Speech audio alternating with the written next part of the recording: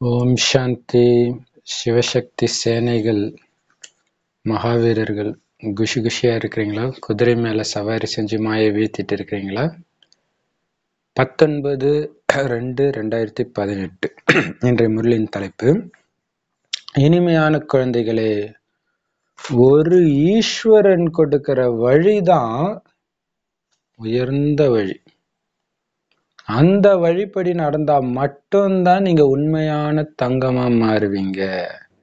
மற்ற எல்லா வழியும் உங்களை என்ன ஆயிடும் போலியாக்கிடும் பொய்யாக்கிடும். கல்லாக்கிடும். அவசர நேற்று வரதானத்தில் சொன்னார் இல்லையா? திவ்ய புத்திய கிளீனா வச்சுக்கோங்க. கரை படிய விடாம பார்த்துக்கோங்க மற்றதுடைய பிரபாவம் வந்துடுச்சுன்னா ரெஜிஸ்டர் போயிடும் கரையாயிடும். அதனால பாபாவுடைய திவ்ய புத்தி படி காரியம் செய்கிறீங்களான்னு செக் பண்ணிக்கிட்டே இருங்க. இல்லாட்டினா பாவம் அதிகமாகிடும் அப்படின்னார். அதே மாதிரி இன்னைக்கு தான் சொல்கிற அந்த திவ்ய புத்தி. அப்படின்னா பாபா கொடுக்குற புத்தி பாபா கொடுக்குற வழி. அது மட்டும்தான் தங்கமாக மாற்றும் அதனால் மற்ற வழி வேண்டாம். பாபாவுடைய ஒரு வழிப்படி மட்டும் நடங்க. மற்றவங்க யார் சொல்கிறதையும் கேட்காதீங்க. கேள்வி எந்த பாகம் ஒரு ஞானக்கடல் பாபா கிட்ட மட்டுமே நிரம்பி இருக்கு வேற எந்த மனித ஆத்மாவிலையும் கிடையாது.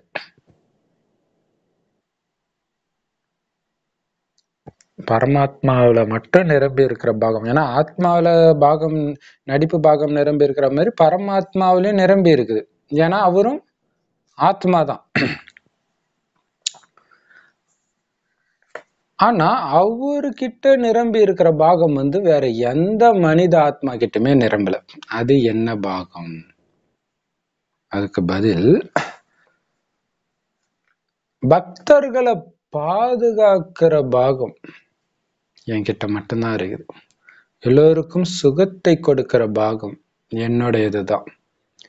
அதனால எல்லா குழந்தைங்களுக்கும் ஞானக்கடலான தந்தை ஞான மழை பொழிஞ்சிட்டு இருக்க அழிவற்ற ஞானத்தின் மழை. அந்த ஞான ரத்தினங்கள் வந்து இவ்வளவு ரேட் ஆகும்னு மதிப்பிட முடியாத மாதிரி விலை மதிக்க முடியாத ரத்தினங்களை கொடுக்கிறார். இதன் மூலமாக துக்கத்திலிருந்து உங்களை விடுவிப்பவன் நான். அனைத்து ஆத்மாக்களுக்கும் வழிகாட்டியாகி ஆன்மீக வழிகாட்டியாகி உங்களை சாந்தி தாமத்துக்கு மீண்டும் அழைச்சிட்டு போகிறேன் இதுதான் என்னுடைய நடிப்பு. என்னென்ன அவருடைய நடிப்பு? பக்தர்களை பாதுகாக்கிறது எல்லோருக்கும் சுகத்தை கொடுக்கறது ஞானம் மழை பொழியறது எல்லோரும் கூடவே அழைச்சிட்டு போகிறது மற்றபடி யாருக்கும் துக்கம் கொடுக்குற பாகம் என் இது கிடையவே கிடையாது. அதனாலதான் என்ன கண்ணுல வச்சு ஒத்திக்கிறீங்க. இல்லையா நம்ம கேலண்டர் கொடுக்குறோம் நோட்டீஸ்லாம் கொடுக்குறோம்னா அப்படியே லக்ஷ்மி நாராயணன் சிவலிங்கம் பார்த்தோன்னே கண்ணுல வச்சு ஒத்திக்கிறாங்க. துக்கம் கொடுக்குறவங்களே ஒத்திக்குவாங்க.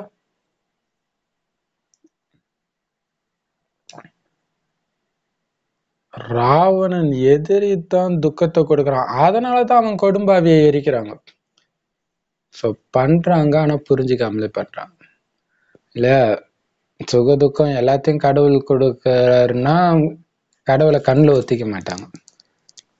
ராவணனை எரிக்கவும் மாட்டாங்க. அப்போ துக்கம் கொடுக்கறவனை தான் எரிக்கிறாங்க சுகம் கொடுக்கறவரை தான் கண்ணுல ஒத்திக்கிறாங்க. அதனால சுகம் கொடுக்கிற பாட்டு தான் குழந்தை என்னோடது. இது வந்து மற்ற எந்த ஆத்மாவுடைய பாட்டும் கிடையாது பாபாவுடைய பாட்டு தான். துக்கத்துல இருந்து விடுவிக்கிறதெல்லாம் அவர் தான் பண்ண முடியும். மனிதர்கள் பண்ண முடியுமா? மோட்டிவேஷனல் ப்ரோக்ராம் கொடுத்துட்டா ஒருத்தர் அப்படியே மாறிட முடியுமா? வாழ்க்கையே ஸோ அதெல்லாம் இறைவனுடைய வேலை. மனிதர்களுடைய வேலை கிடையாது. அவன் பிஸ்னஸில் சக்ஸஸ் ஆகலாம்.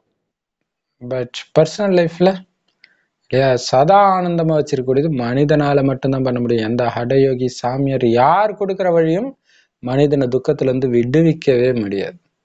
முக்தி கொடுக்கவே முடியாது. பாடல் யார் தந்தையோடு இருக்கிறாங்களோ யார் இருக்கிறா நாம தான் இருக்கிறோம் இல்லையா? ஓம் சாந்தி. ஓம் சாந்தினா என்ன அர்த்தம்? நான் ஆத்மா அவ்வளவுதான். ரொம்ப சின்ன அர்த்தம் தான் இது. அப்படின்னு பாபா புரிய வைக்கிறார். ஓம் சாந்தினா நான் கடவுள்னு அர்த்தம் கிடையாது. ஆனா யாராவது படிச்ச வேதத்தை படிச்ச வேத சாஸ்திரிகள் பண்டிதர்கள்ட்ட கேட்டீங்கன்னா என்ன சொல்லுவாங்க? பக்கம் பக்கமாக சொல்லுவாங்க. அப்படியே அப்படியே யாராலையும் புரிஞ்சிக்க முடியாத மாதிரி நீளமாக அப்படியே காம்ப்ளெக்ஸாக அதெல்லாம் உனக்குலாம் புரியாது. அது ஒரு பெரிய ஆழமான விஷயத்த நீ கேட்டிருக்கிற அப்படி சொல்லுவாங்க. உண்மையை சொல்லவே மாட்டாங்க. மணிக்கணக்காக பேசுவாங்க ஓமுக்கு. நான் உண்மையை சொல்ல வேண்டாம் நான் ஆத்மா அவ்வளோதான் ஓம்னா. அகம் ஆத்மா. ஓம் சொல்றதுல நான் ஆத்மா ஆத்மான்னு நம்ம இப்ப ஞாபகப்படுத்திக்கிறதோடைய நினைவு தான். பக்தியில ஓம் ஓம்னு ரிப்பீட் ஆகிறது.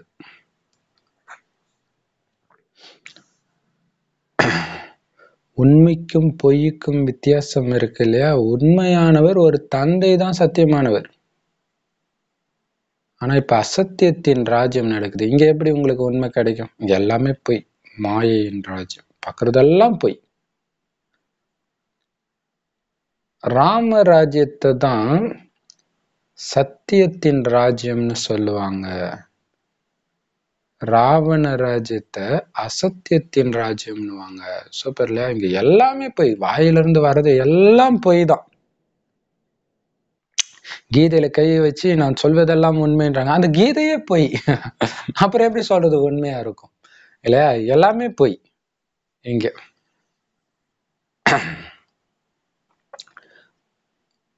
இதுல பாத்தீங்கன்னா ஆஹ் வேதத்திலலாம் பாத்தீங்கன்னா அரக்கிகள் போய் தேவர்களை மயக்கிறதுக்காக அல்லது முனிவர்களை மயக்கிறதுக்காக ஒரு அழகான பொண்ணு வேஷத்துல போவாங்க.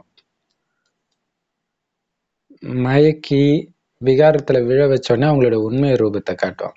ஸோ அதெல்லாம் என்னது? இப்ப அழகுல மயங்கி போய் அதுக்கப்புறம் அவங்களுடைய அசுர குணங்கள் வெளிப்பட்டு பயந்துடுறாங்களே ஐயோ ஏமாந்துட்டனே அப்படின்ட்டு. ஏன்னா இது ராவணராஜம் பேய் ஏமாத்தத்தான் செய்யும். இப்ப பாபா சொல்றாரு இங்க இருக்கிற மனிதர்கள் சொல்றது அத்தனையும் பொய் பொய் பொய் தவிர எதுவுமே கிடையாது. பாபா மட்டும்தான் சத்தியமானவர்.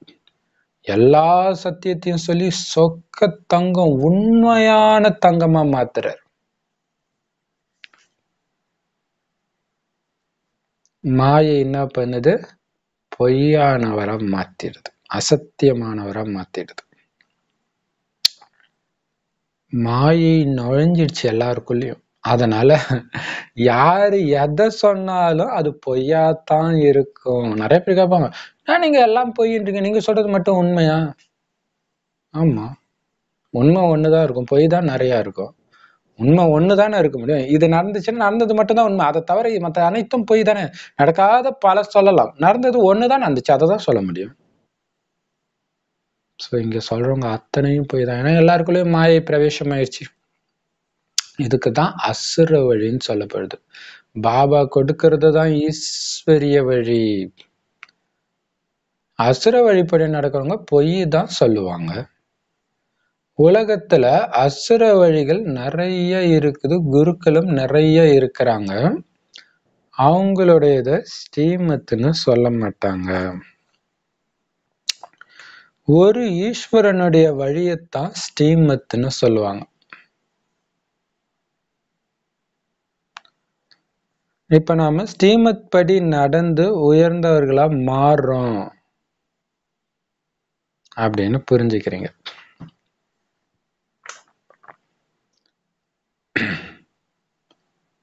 இப்போ பாபா சொல்றாரு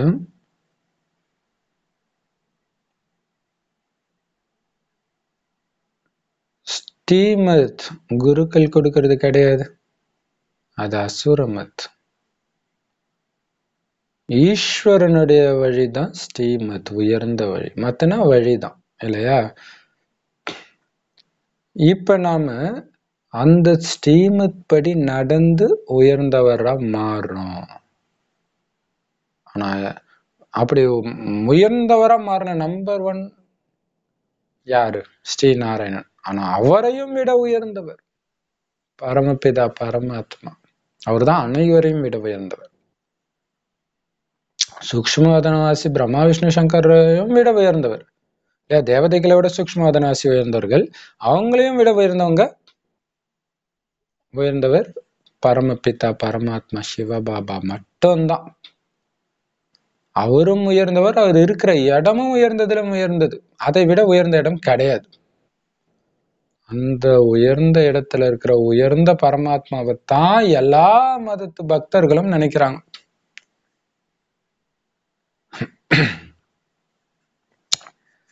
ஸோ பக்தர்கள் ஸ்ரீமத் ஸ்ரீமத் ஸ்ரீமத் பகவத்கீதைன்னு அதை நினைக்கிறாங்க அப்படின்னாலே அசுர வழியிலும் இருக்கிறாங்க சிலர்னு தானே அர்த்தம்.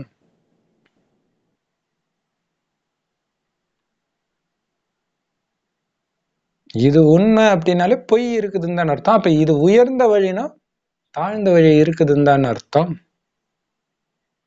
இப்ப நீங்க அந்த ஸ்ரீமத் படி உயர்ந்தவர்களா மாறுறீங்க. இது உயர்ந்த வழிப்பா ஸ்ரீமத் பகவத்கீதை. அப்படின்னாலே மத்தது எல்லாமே தாழ்ந்த வழின்னு தானே அர்த்தம். நீங்க அந்த ஸ்ரீமத் படி சிரேஷ்டமானவர்களாக மாறுறீங்க.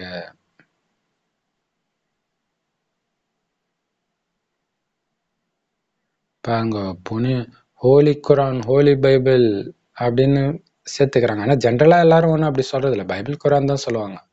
ஆனால் கீதை மட்டும் சொல்லும்போது ஸ்ரீமத் பகவத்கீதை உயர்ந்த இல்லையா? அது பேரோடவே அப்படியே வந்துடுது. அப்போ அது உயர்ந்த வழி. அதன்படி தான் உயர்ந்தவர்களாக மாறுறீங்க. அந்த ஸ்ரீமத்து தான் இப்போ கொடுக்குறேன் இப்பதான் அது கிடைக்குது. இப்ப நீங்க எந்த அளவுக்கு உயர்ந்தவரா ஆகுறீங்கன்னா அப்படியே நாராயணன் அளவுக்கு உயர்ந்ததா ஆனதுனால அங்க போய் இறைவனை நினைக்க வேண்டிய அவசியமே இல்லாத அளவுக்கு உயர்ந்தவர் ஆயிடுறீங்க ஏன்னா அங்க உங்களுக்கு துக்கமே இல்லை. தாழ்ந்தவங்களுக்கு தான் துக்கம் இருக்கும். அவங்களுக்கு துக்கமே இருக்காது. அவ்வளவு உயர்ந்தவர்கள். உயர்ந்தவர்கள் மட்டுமே நிறைந்த உலகம். இப்போ இப்ப வந்து துக்கத்துல தப்பிக்கிறதுக்காக அவரை நினைக்கிறோம் இல்லையா? அங்க துக்கமே இருக்காது. பக்தர்களுக்கு தான் அளவற்ற துக்கம் இருக்குது. பாருங்க ஒருத்தன் பிறந்ததுல இருந்தே தியானம் பண்ணிக்கிட்டே இருக்கிறான் சாகிற வரையும் தியானம் பண்ணிட்டே இருந்தானா அப்ப எப்பதான் வாழ்ந்தான்? ஆனா நம்ம அப்படிதான் பண்ணிட்டு இருக்கிறோம் பிராமணர்கள் இல்லையா? பிராமண ஜென்மம் எடுத்த உடனே ஆரம்பிக்கிறோம் கடைசி வரைக்கும். ஆனா பக்காவா பண்ணல அது வேற விஷயம். பட் கடைசியில தான் அது பக்காவாகுது. ஆனால் இது தேகம் சம்பந்தப்பட்டது இல்லை ஆத்மா சம்மந்தப்பட்டது ஸோ ஆத்மாவுடைய கீழ்நிலை அடையும் போது அது மீண்டும் மேல்நிலை அடையிறதுக்கு தியானம் பண்ணுது. ஸோ அதுக்கு தான் ஆத்ம உணர்வோடு இதை யோசிக்கணும். நிறைய பேர் கேட்பாங்க பா கொஞ்சம் இருக்கணும்ப்பா சாமினா. எந்த நேரமும் அதுலேயே மூழ்கி இருக்கிற? அப்படின்னுவாங்க. உடல் உணர்வு. இந்த ஒரு பிறவின்னு நினைக்கிறதுனால அவங்க அப்படி நினச்சிக்கிறாங்க. பல பிறவி எடுத்து எல்லாத்தையும் இழந்துட்டோம். அதை பெறுவதற்காக நினைக்கிறோம்னு தெரியல. இப்போ அடைஞ்ச பிறகு நீங்க நினைக்க வேண்டிய பார்ட்டே கிடையாது நாடகத்துல. அதனால உங்களுக்கு கவலை இல்லை. ஆனா இப்ப அலட்சியப்படுத்திடக்கூடாது. பக்தர்களுக்கு தான் அளவற்ற துக்கம். இன்னும் நிறைய துக்கத்தின் மலை விழப்போகுது உங்க தலையில. மகாபாரத யுத்தம் மனிதர்களை பொறுத்த வரைக்கும் ஒரு துக்கத்தின் மலைன்னு தான் சொல்லணும். ஆனா குழந்தைகளாகிய உங்களுக்கு சுகத்தின் மலையாகும். துக்கத்துக்கு பிறகு நிச்சயம் சுகம் வரணும். இந்த அழிவுக்கு பின் உங்களுடைய ராஜ்யம் வரணும். பல தர்மங்கள் அழியுது. எந்த தர்மம் இப்ப மறைஞ்சு இருக்குதோ அது உருவாகுது. அதாவது இந்த மகாபாரத போரின் மூலமாக சொர்க்கத்தின் வாசல் திறக்குது. இந்த வாசல் மூலமா யார் போவாங்க? யாரு ராஜயோகத்தை கத்துக்கிட்டு இருக்கிறாங்களோ அவங்க தான் போவாங்க. அந்த ராஜயோகத்தை சொல்லி கொடுக்கக்கூடியவர் தந்தை. யார் தலைவனோடு இருக்கிறாங்களோ அவங்களுக்கு தான் ஞானமழை பொழியுது. தலைவன்னு தந்தைக்கு தான் சொல்லப்படுது. மற்றபடி தண்ணியினாலான மழை தண்ணியினாலான கடல்ல இருந்து வருது. இது அழிவற்ற ஞான ரத்தினங்களின் மழை. ஞான கடலான தந்தையோடு யார் இருக்கிறாங்களோ அவங்களுக்கு தான் ஞான ரத்தினங்களின் மழை பொழியுது. இந்த அழிவற்ற ஞான ரத்தினங்கள் உங்க புத்தின்ற பையில தாரணை ஆகுது. கல்வி புத்தியில தானே தாரணை ஆகுது? ஆத்மா மனம் புத்தியோடு இருக்குது அப்படின்னா ஆத்மா தானே அதை கிரகிக்குது. எப்படி ஆத்மாவுக்குன்னு இந்த உடல் இருக்குதோ அதே மாதிரி ஆத்மாவுக்குன்னு மனம் புத்தியும் இருக்குது. புத்தியின் மூலம் கிரகிக்குது. யோகத்துல இருக்கும் பொழுதுதான் கிரகிக்குது. அதாவது தாரணை செய்து. இந்த பாபா தான் வந்து மிகவும் ஈஸியான விஷயங்களை புரிய வைக்கிறார். மனிதர்கள் ரொம்ப கஷ்டமான விஷயங்களை சொல்லிட்டாங்க. சாஸ்திரங்கள்ல கூட பல வழி இருக்குது. கீதைய ரொம்ப பிரச்சாரம் பண்றாங்க. அத்தியாயத்தின் பொருள் நிறைய சொல்றாங்க. எத்தனை விதமான கீதைகளை உருவாக்கி இருக்கிறாங்க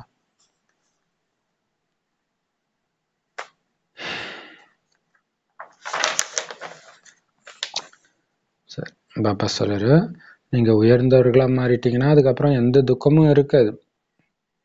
ஏன்னா இப்போ துக்கத்தின் மலை விழப்போகுது. ஆனால் உங்களை பொறுத்த வரைக்கும் சுகம்தான். சுகத்துக்கு அந்த கலியுக வாசிகளுக்கு தான் துக்கம். ஸோ அதுலேருந்து நீங்கள் விடு உங்களை விடுவிச்சிட்டு பாபா சொல்கிற வழிபடி ஃபுல்லாக நடந்தீங்கன்னா உங்களுக்கு சுகமும் சுகம்தான். துக்கமே இருக்காது.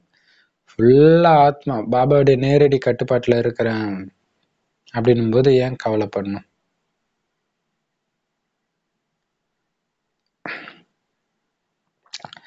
பாபா சொல்றாருல நீங்கள் சேர்த்து வைக்கக்கூடாதுன்றார். சேர்த்து வைக்கக்கூடாது அப்படிங்கிறது மனித அறிவுக்கு அதுவும் இந்த கலியுக இறுதியில் காசு பின்னாடி எல்லாம் ஓடிட்டு இருக்கும் பொழுது சேர்த்து வைக்கக்கூடாது அப்படிங்கிற பாபா சொல்கிறார் ஏன்னா சேர்த்து வைக்கும்போது தான் வலி பயங்கரமாக இருக்கும். இன்னொரு விஷயம் ஃபுல்லாக பாபா மேலே நிச்சய புத்தி இருக்கிறவங்க தான் அது மாதிரி பாபா சொல்கிற மாதிரி நடந்துக்க முடியும். அப்படி இருக்கிறவங்களுக்கு தான் கடைசி வரைக்கும் எல்லாமே வரும்னு சொல்றாரு. அப்பதான் பாபா கொடுக்கறது தெரியும். ஸோ இப்போத்துல இருந்தே அப்படி இருக்கிறவங்களுக்கு இப்பவுமே பாத்தீங்கன்னா நிறைய மாத்த ஜானகிதாதி மாதிரியே கையில பத்து பைசா இல்லாம பயங்கர ஆனந்தமா முழுக்க முழுக்க ஈஸ்வரிய சேவையிலே இருக்கிறவங்கள பாக்குறோம். ஆச்சரியமா இருக்கும். அவங்களுக்கு எப்பயுமே ஒரே மாதிரியே இருக்கும்.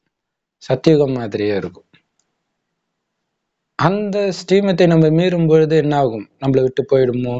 உறவுகளை நம்ம பிடிச்சி வச்சுக்கணும் பணத்தை பிடிச்சி வைக்கணும் இடத்த பிடிச்சி வைக்கணும் இதுலேயே வாழ்க்கை வீணாக போயிடும். அவங்களுக்கு தான் துக்கத்தின் மலை. ஃபுல்லாக என் பொறுப்பு பாபாவோட இது. அப்படின்னு ஜாலியாக இருக்கிறவங்களுக்கு கவலையே இருக்கு. ஏன்னா இது ரொம்ப ரொம்ப முக்கியமான விஷயம். அதுதான் ஃபுல்லாக தன்னை அர்ப்பணிக்கிறதுன்றது. நேற்று கேட்டார்ல என்ன பயமா இருக்குதா சென்டர்ல வர்றதுக்கு? அப்படின்னு கன்னியாக்கில் கேட்டார் இல்லையா? அதுதான். அந்த அந்த ஃபுல் நிச்சய புத்தியோட பாபா சொல்ற மாதிரி நடந்துக்கும் போது இதுவே சொர்க்கம் தான் யார் எப்படி இருந்தா எனக்கு என்ன? பாபா நினைவுல நான் குஷியா இருக்கிறேன். அப்படின்னு இருக்கிறவங்களுக்கு அந்த உலக அழிவு மகாபாரத யுத்தத்தின் டைம்ல கூட அவங்க ஆனந்தம் ஆனந்த நடனம் தான் ஆடிட்டு இருப்பாங்க.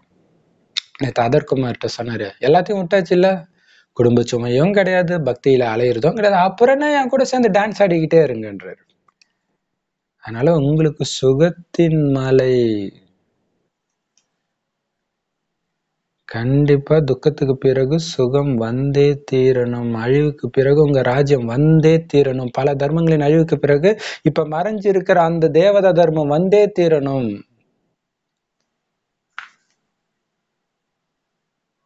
செம சூப்பர் இது. கிறிஸ்தவ தர்மம் இந்து தர்மம் முஸ்லிம் தர்மம் எந்த தர்மத்திலுமே காமத்தை விடணும்னு சொல்லவே இல்லை. நீங்க என்ன புதுசா சொல்றீங்க? எந்த வேதத்துல போட்டிருக்கு ஒரு தர்மம் அப்படி இருந்துச்சுங்க. அது இப்ப வந்துட்டு இருக்குதுங்க. அது வந்துச்சுன்னா எல்லா தர்மமும் அழிஞ்சிடும். இல்லையா? அந்த தர்மத்துடைய குணம் இது. அப்ப அந்த தர்மம் இப்ப இல்ல. அதனாலதான் நீங்களும் மறைமுகமா இருக்கீங்கன்றாங்க. ஆனா உங்களுடைய தர்மம் இது இல்லையா?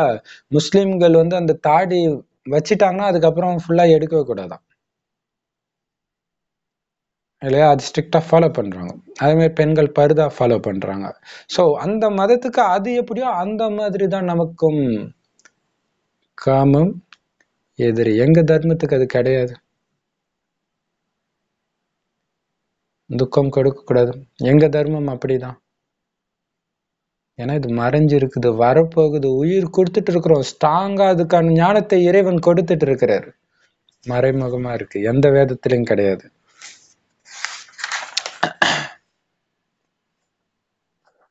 இப்ப நடக்க போற மகாபாரத யுத்தத்தின் மூலமா தான் எங்க சொர்க்கத்தின் கதவு திறக்க போகுது. இல்லையா? அது சூப்பர்ல போட்டு சாவி தொலைஞ்சிருச்சுன்னா உடைச்சி திறப்பாங்களே. அந்த மாதிரி சொர்க்கத்துடைய க- கதவு எப்படி திறக்கப்படுது உலக யுத்தத்துல அணு குண்டுனால திறக்கப்பட போகுது. ராஜயோகத்தை கத்துக்கிட்டவங்க தான் போக முடியும் அந்த கதவு வழியா. மத்தவங்களாம் மேலேயே இருப்பாங்க. சோ அங்க போறதுக்காகத்தான் ஞான மழை பொழிய வச்சு அப்படியே தூய்மை ஆக்குறார். இந்த மழையில நனைஞ்சுக்கிட்டே இருக்கணும்.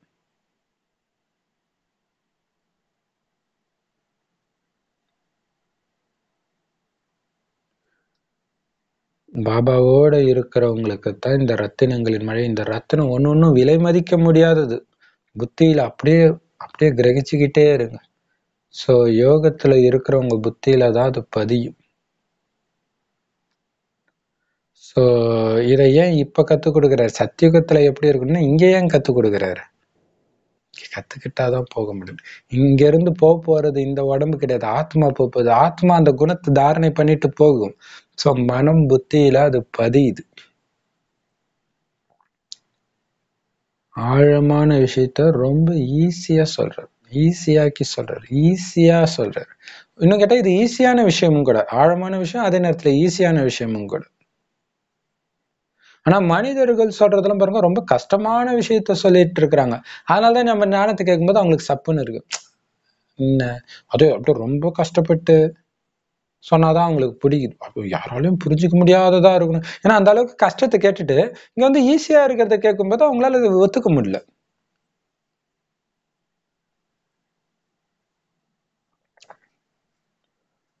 அப்படியே சிவலிங்கத்துக்கு அது ஒரு புரோட்டான் இது ஒரு எலக்ட்ரான் இது ஒரு நியூட்ரான் இப்படிலாம் சொன்னால் சொன்னா குஷியா இருக்குது. இப்போ இறைவன் நட்சத்திரமா இருக்கு. அதோடைய நினைவுதான்னு சொன்னா அவங்களுக்கு பிடிக்கல. இல்லையா? உண்மை ஈஸியா இருக்குது. அவங்க தேவையில்லாம கஷ்டமா பொய்ய சொல்லிட்டு இருக்கிறாங்க. கடினமாக்கி சொல்றாங்க. ஒவ்வொரு சாஸ்திரத்திலயும் ஒவ்வொரு வழி பல வழி. இப்ப கீதைக்கு பாருங்க. நிறைய நிறைய ISKCON group Hare Radha Hare Krishna group இவங்கெல்லாம் பார்த்தீங்கன்னா நிறைய அந்த கீதை வீட்டுக்கு வீடு கூட ஒட்டுறாங்க இல்லையா? கீதாச்சாரம் அப்படின்னு ஒட்டுறாங்க இப்ப. அத்தியாயம் பதினெட்டு அத்தியாயத்துக்கும் பார்த்தீங்கன்னா நிறைய அர்த்தம் சொல்றாங்க. அது இன்னமும் ஒரு லைன் தான் இருக்கும். அதுக்கு பார்த்தீங்கன்னா நாலு நாள் பேசிட்டு இருப்பாங்க. எத்தனை விதமான கீதையை உருவாக்கி இருக்கிறாங்க பாருங்க.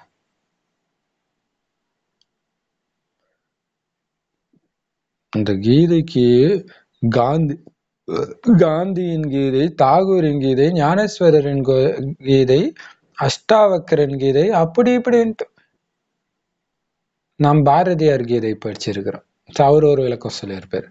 ஸோ இது மாதிரி ஒவ்வொரு கீதை ஆனா வேதத்துக்கு இந்த மாதிரிலாம் எழுதலை. வேற எந்த சாஸ்திரத்தையும் இந்த மாதிரி எழுதலை. இவங்களுடைய வேதம் அவங்களுடைய வேதம்.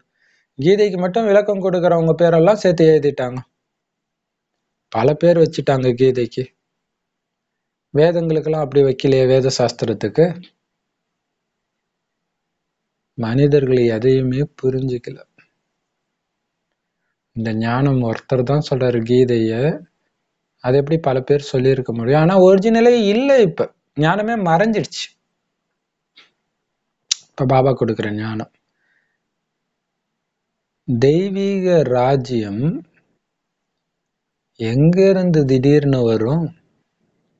ஏன்னா சத்தியுகம் தேவதைகள் ஆள்ற யுகம் அது வரப்போகுது எங்க இருந்து வரும்? சத்தியுகத்தை உரு உருவாக்குறவர்கிட்ட இருந்து தான் அது கிடைக்குது. அதுவும் குழந்தைகளாகிய உங்களுக்குத்தான் கிடைக்குது. உங்களுக்கு சொர்க்கத்தின் ராஜ்யத்தை கொடுக்கறதுக்காகவே அப்பா இப்ப வந்திருக்கிறார். எத்தனை பேருக்கு கொடுக்கிறாரு? இருபத்தி ஓரு பிறவிக்கு கொடுக்கிறாரு. அதனாலதான் குமாரிகள் இருபத்தி ஒரு குலத்தை முன்னேற்றுவார்னு பாடப்பட்டிருக்கு. அப்ப அது எந்த குமாரிய குறி குறிப்பிடுறது? குமாரினா கல்யாணம் ஆகாத பொண்ணு. அப்ப எல்லா கல்யாணம் ஆகாத பொண்ணையும் குறிக்குது? அது கிடையாது. நீங்க தான் குமார் குமாரிகளா இருக்கிற உங்களை குறிக்குது அது. அப்படின்னா கல்யாணம் ஆகாத ஆண் பெண்ணுன்னு அர்த்தம் கிடையாது. நம்ம எல்லாருமே என்னது? குமார் குமாரிக்கு அதாவது பாபாவுடைய குமாரர்கள் குழந்தைகள். அவங்கள குறிக்குது ஸ்ரீமத் படி யார வேணும்னாலும் உங்களால இப்ப இருபத்தி ஒரு பிறவிக்கு ராஜ்ய பாக்கியத்தை அடைய வைக்க முடியும். சோ அந்த ஞானத்தை நீங்க கொடுக்கிற சேவை செய்யறதுனாலதான் குமாரிகளின் மூலம் இருபத்தி ஒரு குல இருபத்தி ஒரு பிறவிக்கு முன்னேற்றம் ஏற்படுது. இருபத்தி ஒரு தலைமுறைக்கு முன்னேற்றம் ஏற்படுது அப்படின்னு சொல்லப்படுறது. ஸ்கூல்ல படிக்கிறவங்களுக்கு நம்ம படிக்கிற ஸ்டூடெண்ட்டுன்னு தெரியும். ஸ்கூல்ல படிக்கிறவங்களுக்கு தான் தெரியும். மற்ற சத்சங்கத்துக்கு போறவங்களாம் தங்களை யாரும் மாணவர்கள் நினைச்சுக்க மாட்டாங்க. ஏன்னா மாணவர்கள் ஸ்கூல்ல படிக்கும்போது நான் இதுக்காக படிக்கிறேன்னு ஒரு குறிக்கோள் இருக்கும். நீங்க ஈஸ்வரிய மாணவர்கள் உங்களுக்கு சுயம் ஈஸ்வரனே வந்து ராஜயோகத்தை கற்பிக்கிற. எதுக்காக? மனுஷன்ல இருந்து தேவதைய மாத்துறதுக்காக. சோ அந்த லட்சியம் உங்களுக்கு இருக்குது. சோ மாணவன் என்ன படிச்சுட்டு இருக்கிறேன் நாராயணன் ஆகிட்டு இருக்கிறேன். அப்படின்னு ஞாபகம் இருக்கும். பகவானுடைய வாக்கு தேவதைகளுடைய ராஜ்யம் இருந்துச்சு. ராஜா ராணி எப்படி தேவதையா இருந்தாங்களோ அதே மாதிரி பிரஜைகளும் தேவதைகளா தான் அங்க இருப்பாங்க. அதுதான் தேவதைகளின் ராஜ்யம். ராஜா மட்டும் தேவதை இல்லை எல்லாரும் தேவதையா தான் இருப்பாங்க. நரன்ல இருந்து நாராயணனாக மாறுறாங்க. எப்படி? இப்ப ஈஸ்வரிய மாணவனா இருந்து ஈஸ்வரன் கிட்ட ராஜயோகத்தை கத்துக்கிறதுனால. அதனால முதல்ல இந்த குறிக்கோள் உங்க புத்தியில இருக்கணும். எதுக்கு நான் வரேன்? நாராயணன் ஆகிறதுக்கு வரேன்ற குறிக்கோள் இருக்கணும்.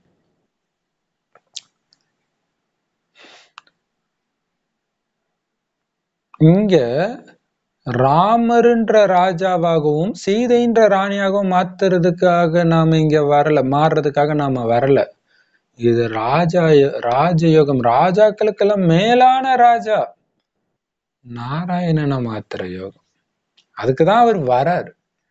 ஆனா உங்களுடைய அதிர்ஷ்டம் இல்லைன்னா எனக்கு சாதாரணமே போதும். நீங்களே எடுத்துக்கிறீங்களே தவிர ராஜாக்களுக்கெல்லாம் மேலான ராஜாவாக்குற யோகம் இது. இல்லையா? திரேத்தா யுக ராஜாவுக்கு அந்த மகிமை கிடையாது அந்த அளவுக்கு. சத்தியுக ராஜா ஸ்ரீ நாராயணன் ஆகணும். அதுதான் குறிக்கோள். கல்ப கல்பமா நீங்க இழந்த மாயை கிட்ட நீங்க இழந்த ராஜ்யத்தை மீண்டும் கொடுக்கறதுக்காக நான் வரேன். உங்க ராஜ்யத்தை ஒண்ணும் எந்த மனுஷனும் ஏமாத்தி பறிக்கல மாயா தான் ஏமாத்தி பறிச்சிச்சு. ஆனால் மனிதர்களோட சண்டை போடுறதுனால அவங்கள திட்டுறதுனால எந்த பிரயோஜனமும் கிடையாது. நீ மாயையை வெல்லு. அந்த ராஜ்யம் தானா உன் காலடியில வந்துடும் மாயையத்தான் நீங்க வெற்றி அடையணும். மனிதர்களை கிடையாது. ராஜாக்களுக்கு இடையில துவாபரயுகத்திலும் கலியுகத்திலும் போர் நடக்குது இல்ல ஒருத்தர் இன்னொருத்தரை வெற்றி அடைய வெற்றி அடையணும் இன்னொருத்தரை வெற்றி அடையணும் வீழ்த்தணும்ட்டு சண்டை போடுறாங்க.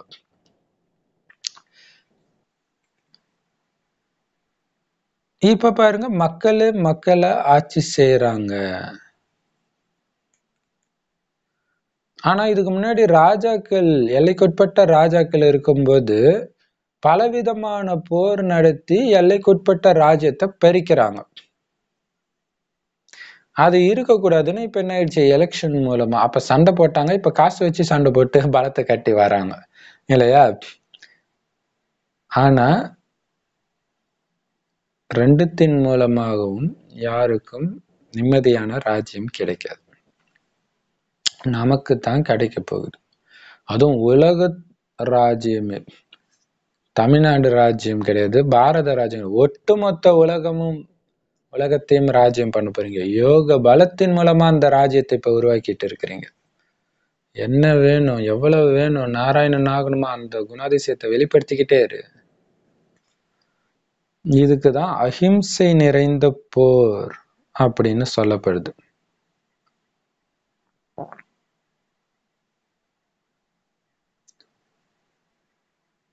இங்க நீங்க சண்டை போடுறதும் கிடையாது சாக அடிக்கிறதும் கிடையாது நீங்களும் செத்து போறதும் கிடையாது. அஹிம்சை போர். செம சூப்பர் இல்ல? அஹிம்சை போராட்டம் அப்படின்றாங்களே. இங்க அஹிம்சை போர்னே சொல்றாரு. போராட்டம் கிடையாது போரே அஹிம்சை போர். ஆனா இதுல யாருக்குமே துக்கம் கொடுக்கல. ஆனா அந்த அஹிம்சை போராட்டத்துல உண்மையிலே துக்கம் கொடுக்கறாங்க. துக்கம் கொடுக்காம கிடையாது. இல்லையா? தன்னையே வருத்திக்கிறாங்க முதல்ல. சாப்பிடாம. இது இல்லாம எதிர வெள்ளைக்காரங்க வந்து அடிக்க வேற செய்வாங்க. இப்பவும் அதே மாதிரி நடத்தும்போது ஜெயில போடுவாங்க. சில சமயம் அடிக்கவும் செய்யறாங்க ஆக்சுவலா பல சமயம் அடிக்கிறாங்க. ஆனா இந்த அஹிம்சை போர் யோக பலம்ன்ற அஹிம்சை போர்ல நீங்க யாரையும் அடிக்கிறதும் கிடையாது அடி வாங்குறதும் கிடையாது. யாருக்கும் துக்கம் கொடுக்கறதும் கிடையாது. மாயையோடு போர். அதை ஜெயிக்கிறதுனால நீங்க சுகத்தை தான் அடையிறீங்க. இதுதான் யோக பலம். எவ்வளவு ஈஸியா இருக்குது இந்த போர். அதிலும் குறிப்பா பெண்களே அதிகமாக செய்யற போர் இது.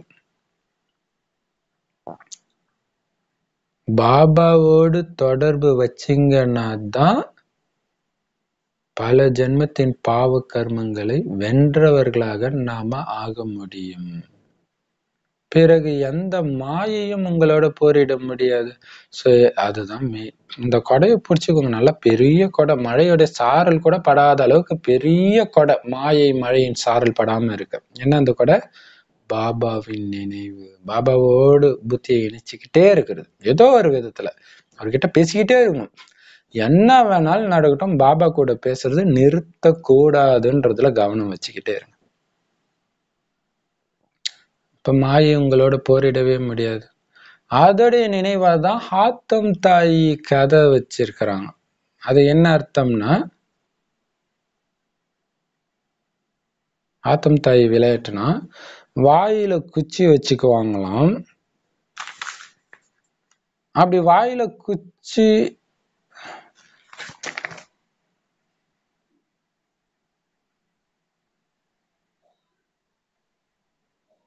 வாயில குச்சி போட்டுட்டா மாயை மறைஞ்சிடுமா? குச்சி எடுத்துட்டா மாயா வந்துடுமா? ஸோ அது துல்லியமா என்ன விளையாட்டுன்னு தெரியல. வடநாட்டு விளையாட்டுல இருக்குது.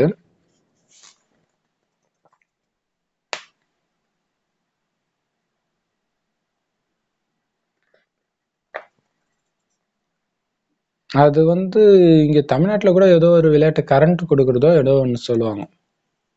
ஏதோ ஒன்று சொல்லிட்டா அந்த டைம் அவுட் அடிக்க முடியாது. அவங்க சொல்றதுக்கு முன்னாடி டக்குன்னு தொட்டா அவுட் அப்ப அதை சொன்னா சக்தி வந்துடுது.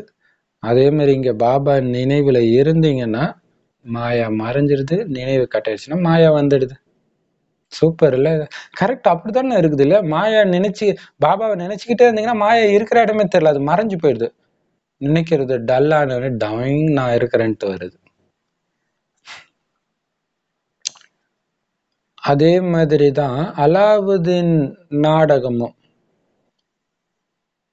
விளக்க தேய்ச்சாலே சொர்க்கம் வந்துடுது அதான் அந்த விளக்கு தேய்ச்சாலே கேட்டதெல்லாம் கிடைக்குது. அதனால அதே மாதிரி சொர்க்கம் வேணும்னும் போது அது மாதிரி பில்டிங் எல்லாமே வந்துடுது. ஸோ அதே மாதிரி இங்க பாபா நினைவு பண்ண பண்ண நினைவுன்ற விளக்க தேய்க்க தேய்க்க என்ன ஆகுது? சொர்க்கத்தில் உயர்ந்த பதவி வந்துகிட்டே இருக்குது. ஸோ இதோடைய நினைவாக தான் இந்த கதையை உருவாக்கப்பட்டிருக்கின்றார் பிரம்மாவின் மூலமா பாபா சொர்க்கத்தை உருவாக்குறார். பாபா நரகத்தை உருவாக்குவார். ஸோ சொர்க்கத்தை உருவாக்குறார். நரகத்தை பரமபிதா பரமாத்மா உருவாக்க மாட்டார். ஒருவேளை அப்படி பண்ணியிருந்தா அவருடைய குடும்பாவியில எரிப்பாங்க. யாராவது கடவுளுடைய குடும்பாவியை எரிக்கிறாங்களா? ராவணனுடைய கொடும்பாவியைத்தான் உருவாக்கி இருக்கிறாங்க. ஏன்னா ராவணன் தான் எல்லாருக்கும் எதிரி. பாபா சொர்க்கத்தை படைக்கிறதுனாலதான் அவரை கண்ணுல வச்சுக்கிறாங்க. துக்கத்துல இருந்து விடுவியுங்க அப்படின்னு பக்தர்கள் அவரை நினைக்கிறாங்க. அதுக்காக தான் நான் வந்து இப்ப விடுவிக்கிறேன். நீங்க துக்கத்துல இருந்து காப்பாத்த தானே கூப்பிட்டீங்க? நான் வந்துட்டேன். பாபா எப்போ வருவார்? கிளைமேக்ஸ்ல தான் வருவார். இது எதோடைய கிளைமேக்ஸு ஆத்மாவுடைய கிளைமேக்ஸ் ஏன்னா பல பிறவையே நம்ம கூப்பிட்டுருக்கோம். அப்போல்லாம் வரல. ஏன்னா உடல்னு நினச்சிட்டோம். இந்த கஷ்டத்துக்கு வரல இந்த கஷ்டத்துக்கு வரலையே. ஸோ இறுதியில வர ஆத்மா ஆத்மாவுடைய உச்சக்கட்ட கஷ்டத்தில் இருக்கும்போது வந்து விடுவிக்கிறார். ஆன்மீக வழிகாட்டியாகவும் இருக்கிறாரு. ஆத்மாவை எங்க அழைச்சிட்டு போறாரு? சாந்தி தாமத்துக்கு ஆத்மாவின் வீட்டுக்கு அழைச்சிட்டு போறாரு. தலைவனோடு இருக்கிறவங்க மேல இந்த ஞான மழை பொழியிறார். விலை மதிக்க முடியாத ஞான ரத்தினங்களின் மழை பொழியிறார்.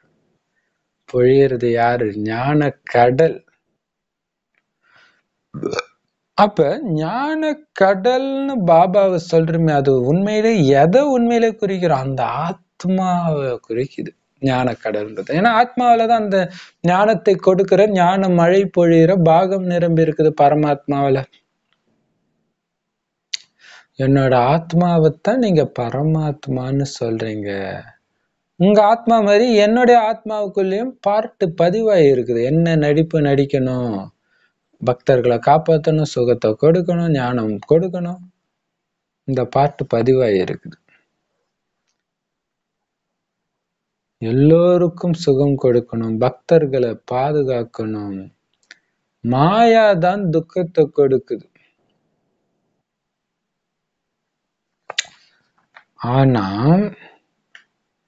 அற்ப கால சுகத்தை பக்தர்களுக்கு கொடுக்கிற பார்ட்டு கூட எனக்குள்ள இருக்குதுன்றார். இப்ப நிரந்தர சுகத்தை கொடுக்கிற பார்ட்டு இப்ப நடந்துட்டு இருக்கு ஆனா அற்ப கால சுகம் என்னது? காட்சி காட்டுறது. அல்லது அவங்களுடைய அற்ப கால ஆசைகளை நிறைவேற்றுறது மெயினாக காட்சி காட்டுறது. ஏன்னா சுத்தமான ஆசையை தான் நான் நிறைவேற்றுறேன்றார். அசுத்த ஆசையை மாயை நிறைவேற்றுறான்றார். ஸோ அசுத்தமான சங்கல்பத்தெல்லாம் அவர் நிறைவேற்றுறது கிடையாது. மெயினாக அந்த கடவுளை பார்க்கணும் ஜோதியை பார்க்கணும் அப்படின்னு நினைக்கிறவங்களுக்கு காட்சி காட்டுறார். ஸோ அதனால் உண்மையில் அல்பகால சுகம்தான் சுகம் தான் இருக்குது. அதையும் நான் தான் கொடுக்குறேன்.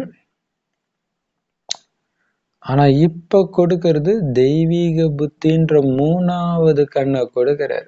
இதனால உங்களுக்கு கிடைக்குது அற்ப கால சுகம் கிடையாது. நிரந்தர சுகம். கண்ணை திறந்தாலே சுகம். எந்த கண்ணை திறந்தா? மூணாவது கண்ணை திறந்தா. மூணாவது கண்ணை திறந்து அதன் மூலமாவே பார்த்துக்கிட்டு இருந்தீங்கன்னா சுகம். அந்த மூன்றாவது கண் மூலமா பேசுனீங்கன்னா இல்லையா புத்தி தெய்வீக புத்தியின் மூலமாக யோசிச்சு பாபா சொல்ற மாதிரி இனிமையா பேசுனீங்கன்னா சுகம். அந்த தெய்வீக புத்தின்ற மூன்றாவது கண் மூலமா நினைத்தால் சுகம். அந்த தெய்வீக புத்தியுடைய பர்மிஷனோட செய்யற அனைத்து காரியங்களும் உங்களுக்கு சுகத்தையும் புண்ணியத்தையும் கொடுக்கும். இந்த மூணாவது கண் மூலமாத்தான் உங்க புத்திய பூட்டி இருக்கு பாருங்க கோத்ரேஜ் பூட்டு அது திறக்குது. அவ்வளவு ஸ்ட்ராங்கா போட்டுன்னு பூட்டு எதன் மூலமா திறக்கப்படுது? தெய்வீக புத்தியின் மூலமாக. யார் தந்தையோடு இருக்கிறாங்களோ அவங்க மேல ஞான மழை பொழிய வைக்கிறது தான் என்னுடைய பார்ட்டே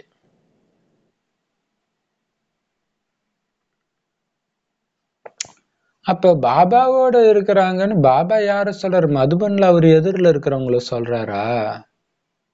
கிடையாது என்னோட இருக்கிறதுனா என்ன அர்த்தம் தெரியுமா? என் நினைவுல இருக்கிற குழந்தைன்னு அர்த்தம்ன்றார்.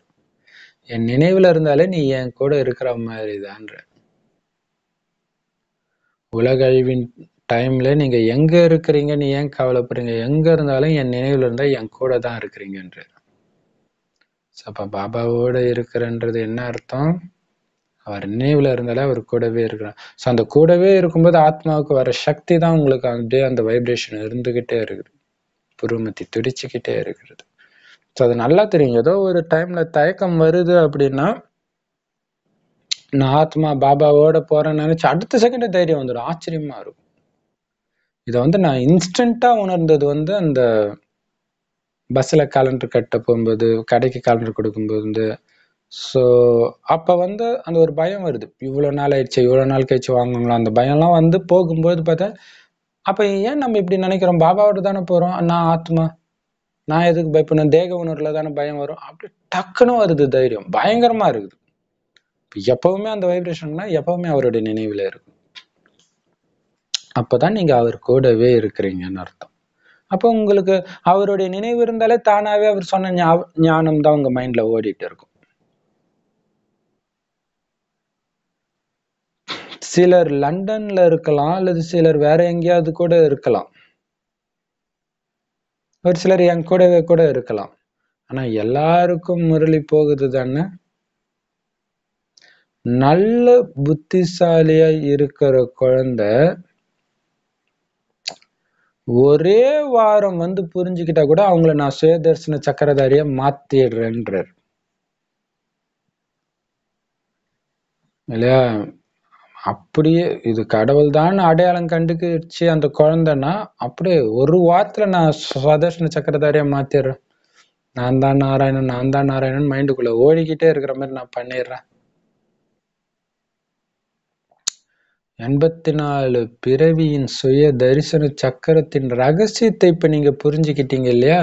இந்த சுய தரிசன சக்கரத்தை சுத்திக்கிட்டே இருந்தீங்கன்னா மாயா ராவணனுடைய தலை துண்டிக்கப்படுது. இல்லையா? அரை கல்பமா இருந்த ராவணனுடைய தலையை துண்டிக்கிற ஆயுதம் இந்த ஸ்வதர்ஷன சக்கரம்.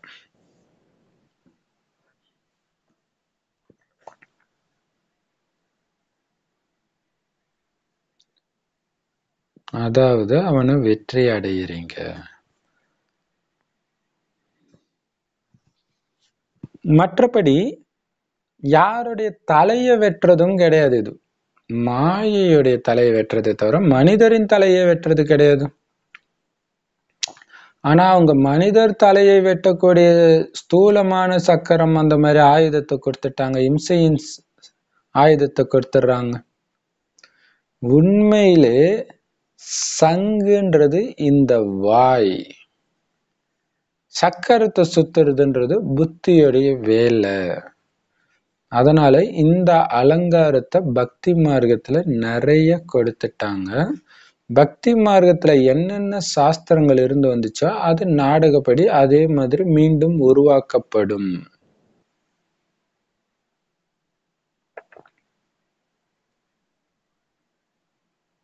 பாருங்க சுதர்ஷன சக்கரம் இல்லையா?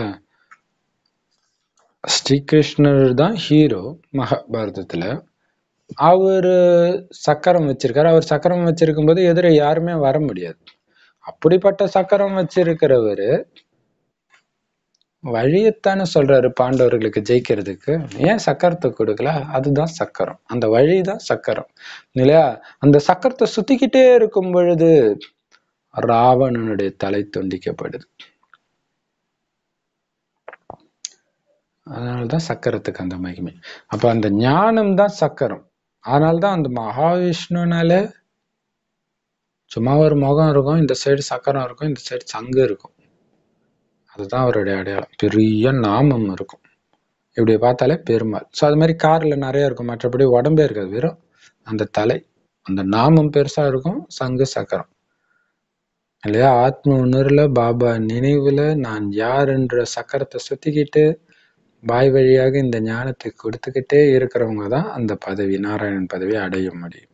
ராவணனை துண்டிக்க முடியும். அவன் தலையை வெட்ட முடியும். அப்ப சங்கு முழங்குறதுன்றது இந்த வாய் வழியை இந்த ஞானத்தை கொடுக்குறது. சக்கரத்தை சுத்துறதுன்றது புத்தியில நான் யார் நான் யார் அது ஓடிக்கிட்டே இருக்கணும். நான் நாராயணன் அப்படிங்கிறது.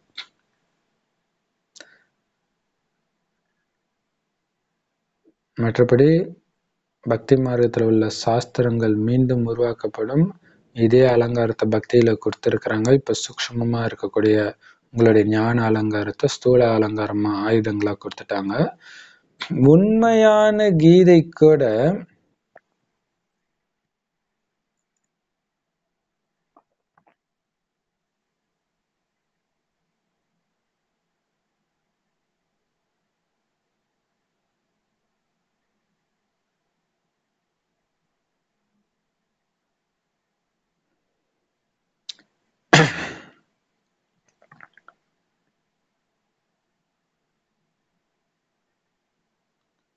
இந்த உண்மையான கீதை கூட யாருடைய கையிலாவது கிடைக்கலாம்ன்றார்.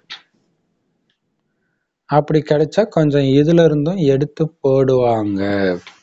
நடக்கலாம்.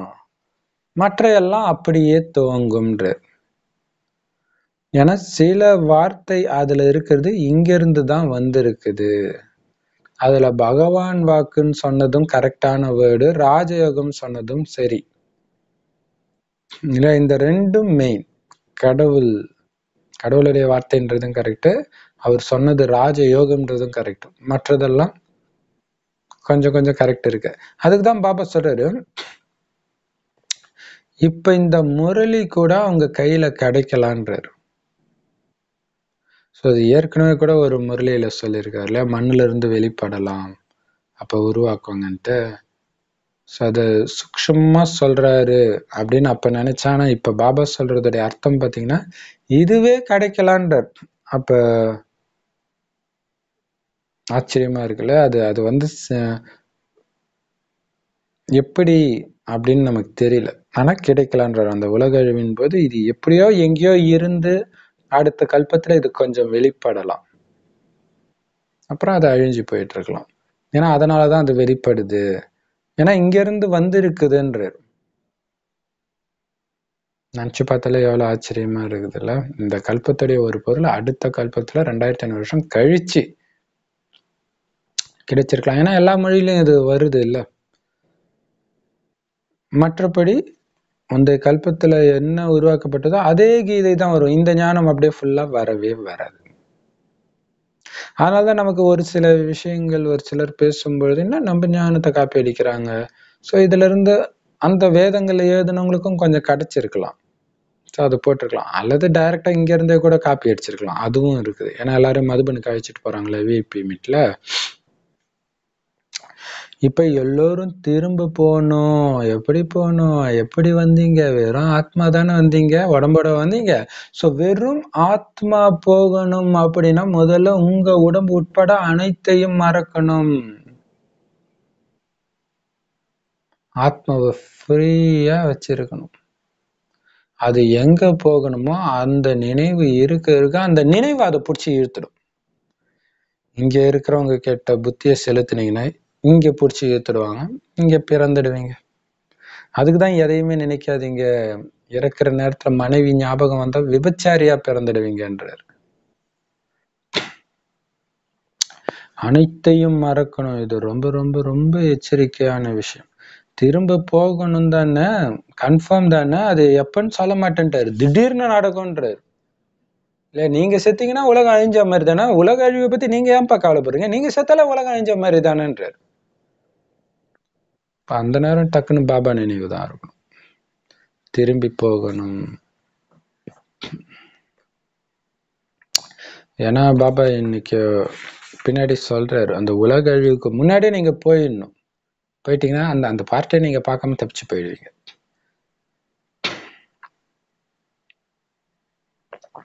அதுக்கு என்ன பண்ணும் அந்த நேரம் வந்து அழுது புலம்பி சாகும்போது சங்கரா சங்கரா கத்தி பிரயோஜனம் கிடையாது. இப்பவே உடல் உணர்வை விட்டுருங்க. அது அந்த உடல் உணர்வை தூண்டுறவங்க எல்லாம் மிகப்பெரிய எதிரின்னு புரிஞ்சுக்கோங்க. காமத்தை தூண்டினாலும் கோபத்தை தூண்டினாலும் பற்று பேராசை அகங்காரம். ஃபுல்லா நான் ஆத்மா சாட்சியா பாக்குறேன். வாயுமண்டலத்தை வாயு மண்டலத்தை தூய்மையாக்குறது மட்டும்தான் என்னுடைய தொழில்னு இருந்துகிட்டே இருக்கணும். எது பண்ணாலும் எது நடந்தாலும். தூய்மையான வாயுமண்டலத்தை அதுக்கு என்ன பண்ணணும்? இந்த சரீரம் உட்பட அனைத்தையும் மறக்கணும். எனக்கு புது சரீரம் தூய்மையான உடல் கிடைக்கும்ன்றது ஞாபகம் இருந்துகிட்டே இருக்கணும். ஆத்மா எப்படியும் அழிய போறது கிடையாது. ஸோ தூய்மையான உடல் கிடைக்கும். அதே தான் உங்க சிந்தனையா இருக்கும். நான் கிருஷ்ணரா பிறக்க போறேன். அங்க உங்களுடைய ஆத்மாவும் தூய்மையா இருக்கும். அது எடுக்கிற உடலும் தூய்மையா இருக்கும். அளவற்ற செல்வமும் இருக்கும். இதையெல்லாம் அடையணும்னு உங்களுக்கு நிறைய பேராசை இருக்குது இல்ல இது தூய்மையான பேராசை. இந்த பேராசை மட்டும் இருக்கட்டும். இருக்கணும். இல்லையா? இதுல உங்களுக்கு சுயநலம் இருக்கணும். நான் அடைஞ்சே தீர்வேன். மத்தவங்க அடையலைன்னா எனக்கு என்ன? நான் எதுக்கு என் நாராயணன் பதவி விட்டு கொடுக்கணும்? எனக்கு உடம்பும் தூய்மையா இருக்கணும். அளவற்ற செல்வமும் கிடைக்கணும் ராஜ்யமும் கிடைக்கணும். நம்பர் ஒன் ராஜாவாகணும். இதுல உங்களுக்கு பேராசை இருக்கணும். சுத்தமான பேராசை இது. இதன் மூலமா தான்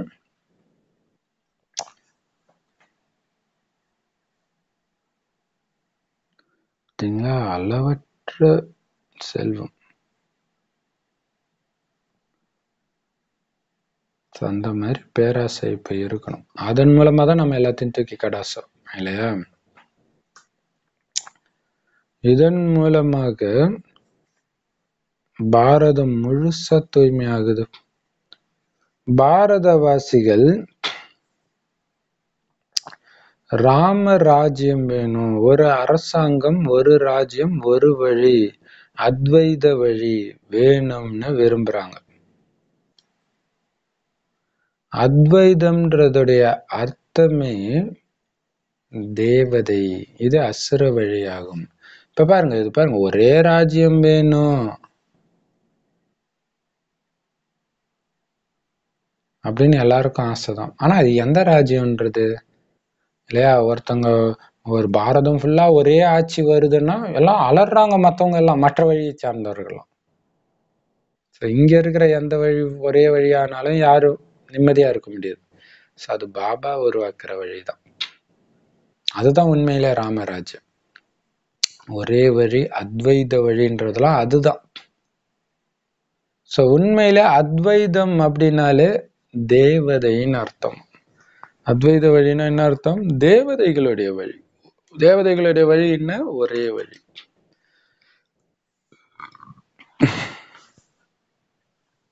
இங்கே இருக்கிறது அசுர வழி. ஸ்ரீமத்து தவிர எல்லாமே அசுர வழி தான் அதனால தான் பாபா சொல்றார் நான் சொல்றத மட்டும் கேளுங்க. இலைக்குட்பட்டது அப்பா டீச்சரு வாத்தியார் குரு பாபா சொல்றதுக்கு புறம்பா சொல்ற பிராமணர்கள் வழி எல்லாத்தையும் தூக்கி கிடைச்சிட்டு பாபா சொல்றாரா? கண்ணை மூடிட்டு செய்யுங்க. ஏன்னா இதன் மூலமா தான் நீங்க ராஜாவாகிறதுக்கு தகுதி அடையிறீங்க. ஏன்னா பாபா சொன்னது மீறிய அனைத்தும் அசுர வழி. இதனால ஒருத்தருக்கு ஒருத்தர் சண்டை தான் போட்டுட்டு இருக்கிறாங்க. அது நமக்கு எதுக்கு? ஈஸ்வரனுடைய குழந்தையா இல்லாத காரணத்தினால ஏழையாகி இருக்கிறாங்க. இப்ப பாருங்க அண்ணன் தம்பி பாசமா வளர்றாங்க அப்புறம் பின்னாடி கல்யாணம் ஆயிடுறாங்க இந்த பொண்டாட்டி அந்த பொண்டாட்டி தூண்டி விட்டு என்ன ஆகுது? மிகப்பெரிய விரோதி ஆயிடுறான். ஸோ அதுக்கு அடிப்படை காரணமா இருக்கிறது என்ன? காமம். காமம் இல்லாதப்ப இந்த பிரச்சனை எல்லாம் வரல. அதனால தான் பாபா சொல்கிறார் காமம் மகாசத்ரு எல்லா பிரச்சனைக்கும் காரணம் அதுதான். அது உன்னை சண்டை போட தான் வைக்கும். இது பாத்தீங்கன்னா பைபிள்ல ஏவாள் சொல்லிதான் ஆதாமே கனியை சாப்பிடுற மாதிரி இருக்கும். அப்ப பாருங்க இல்லையா? அந்த பெண் திருமணம் ஆன பிறகு காமத்தினால உந்தப்பட்டு பெண்ணுடைய வார்த்தையை கேட்கும்போது தான் பிரச்சனை வருது. அப்படிங்கிறதும் அதுல வருது. ஆஹ் அதாவது குடும்பம் பிரியறது அது மாதிரி அது ஆரம்பத்துல இப்ப சுத்தமாருமே எல்லாருமே பிரியற மாதிரி தான் ஆயிடுச்சு இல்லையா? ஈஸ்வரனுடைய குழந்தையா இல்லாத காரணத்தினால தான் ஏழையா இருக்கிறாங்க சத்தியுகத்துல தேவதைகள் பணக்காரர்களா இருப்பாங்க இருக்கிறாங்க. ஏன்னா ஈஸ்வரனுடைய வழிப்படி அந்த பதவியை அடைஞ்சதுனால. சோ எல்லாருமே அங்க பணக்காரர்களாக தான் இருப்பாங்க. அங்க விலங்குகள் கூட ஒருபொழுதும் சண்டையிட்டுக்காது துக்கம் கொடுத்துக்காது. இங்க பாருங்க விலங்குகள் மட்டும் இல்ல மனிதர்கள் எல்லாமே சண்டை போட்டுட்டு தான் இருக்கிறாங்க.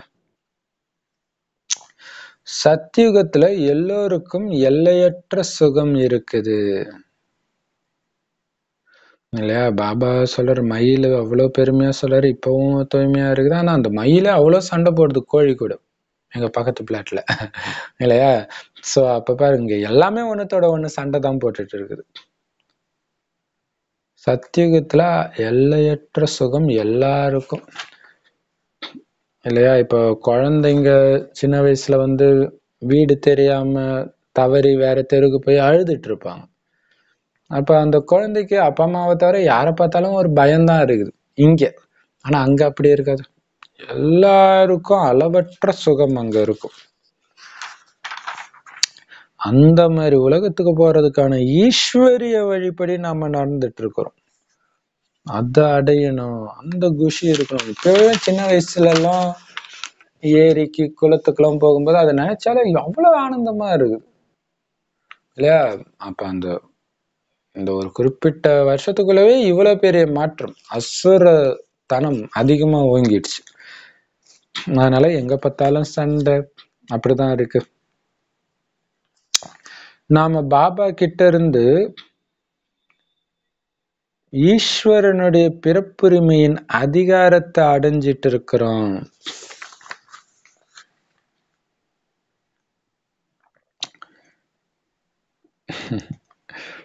இல்லையா? ஒரு காலத்துல வந்து முன்ன பின்ன தெரியாதவங்க கூட போய் கிராமத்துலலாம் போனாங்கன்னா சாப்பாடு போடுவாங்க. எல்லாமே பண்ணுவாங்க. இப்ப நிஜமாலே ஒருத்தன் காசு இழந்துட்டு எனக்கு காசு இல்ல பஸ் கூடனா கூட இவன் ஏமாத்துறான்னு டவுட் இருக்கு. சம்மந்தமே இல்லாம திட்டுறாங்களாம். இப்ப ஒரு சிஸ்டர் பாத்தீங்கன்னா ஆஹ் வண்டியில போயிட்டே இருந்தாங்களாம். சம்மந்தமே இல்லாம ஒருத்தன் வந்து வண்டியை நிறுத்திட்டு அவங்க என்னாண்ட போனோன்னு இங்க நிறுத்தி உனக்கு அறிவு இருக்கா? அப்படி இப்படின்னு நிறுத்திடுறான் அவங்க ரொம்ப டென்ஷன் ஆகி இப்பதான் பாப்பாக்கு வந்து ஆகி இருக்கிறாங்க கோபமே படக்கூடாதுன்னு அவங்களையும் மீறி பயங்கர கோபம் வந்து போடா அப்படின்ட்டாங்களாம். உடனே எதிர ஒரு லாரி வந்துச்சான் பா இந்த புள்ளைய ஏத்திட்டு போப்பா அப்படின்றானா இவளை ஏத்தி கொண்டுட்டு போ அப்படின்றானா அப்ப பாருங்க so அந்த மாதிரி உலகம் மோசமாயிடுச்சு. இங்க. ஏன்? அசுர வழிப்படி நடந்ததுனால. சத்தியுகத்துல எல்லோருக்கும் எல்லையற்ற சுகம் இருக்கும். எல்லாரும் ஒருத்தருக்கு ஒருத்தர் சுகத்தை தான் கொடுப்பாங்க. வார்த்தையில பார்வையில துக்கமே இருக்காது. ஏன்? ஈஸ்வரனுடைய குழந்தையா இப்ப ஆகி அந்த வழிப்படி அங்க அவங்களே அறியாம அந்த வழிப்படி நடக்கிறதுனால. நாம பாபா கிட்ட இருந்து ஈஸ்வரனுடைய ஈஸ்வரனுக்கு பிறந்த அந்த பிறப்புரிமையை அந்த அதிகாரத்தை அடைஞ்சிட்டு இருக்கிறோம் ஈஸ்வரனுக்கு பிறந்தவங்களுக்கு அந்த குழந்தைங்களுடைய பிறப்புரிமை என்னது? உலக ராஜ்யம். அந்த அதிகாரத்தை அடைஞ்சிட்டு இருக்கிறோம் உங்க எதிர்ல ஈஸ்வரன் இருக்கிறார். ஒவ்வொரு கல்பத்திலும் நரகத்தை சொர்க்கமா மாத்துறதுக்காகவே நான் வரேன். உங்களுக்காகவே இந்த அதிசய பரிசை எடுத்துட்டு வரேன். சொர்க்கம்ன்ற அதிசய பேரு பரிசை. ஸோ அதை நீங்க எடுத்துக்கோங்க. உங்களுக்கு கொடுக்கறதுக்கு தான் வரேன். அதனாலதான் கிறிஸ்மஸ் தாத்தா அதோடைய நினைவு தான் இல்லையா? பாபா தானே தாத்தா பிரம்ம மூலமா கொடுக்குறாரு அந்த பரிசு. ஆனா அவங்க அந்த கிறிஸ்மஸ் தாத்தா கொண்டாடுறதுக்கு உண்மையிலே என்ன அர்த்தம்? அவங்க எந்த காரணத்தினால கிறிஸ்டின்ஸ் கொண்டாடுறாங்க? அப்படின்றது தெரிஞ்சவங்க அவசியம் எனக்கு தெரியப்படுத்துங்க. ஸோ அது எல்லோருக்கும் யூஸ்ஃபுல்லாக இருக்கும். சரி. என்னுடைய காணாமல் போய் கண்டெடுக்கப்பட்ட செல்லமான குழந்தைகளே ஐயாயிரம் வருஷம் பிறகு என்னை சந்திக்கிறீங்க. அந்த போதை இருக்குதா? வேற யாராவது இப்படி சொல்ல முடியுமா? ஐயாயிரம் வருஷம் கழிச்சு என்ன சந்திக்கிறீங்கன்ட்டு? நல்லது. வேணா தங்கள வந்து பிரம்மான்னு சொல்லிக்கலாம் விஷ்ணுன்னு சொல்லிக்கலாம் சங்கர்னு சொல்லிக்கலாம். ஆனா இந்த மாதிரி விஷயங்கள் ஐயாயிரம் வருஷம் முன் கழிச்சு நான் நான் உங்களை பார்க்க வந்திருக்கிறேன். நீங்க என்ன பார்க்க வந்திருக்கிறீங்கன்னு யாராவது சொல்ல முடியுமா?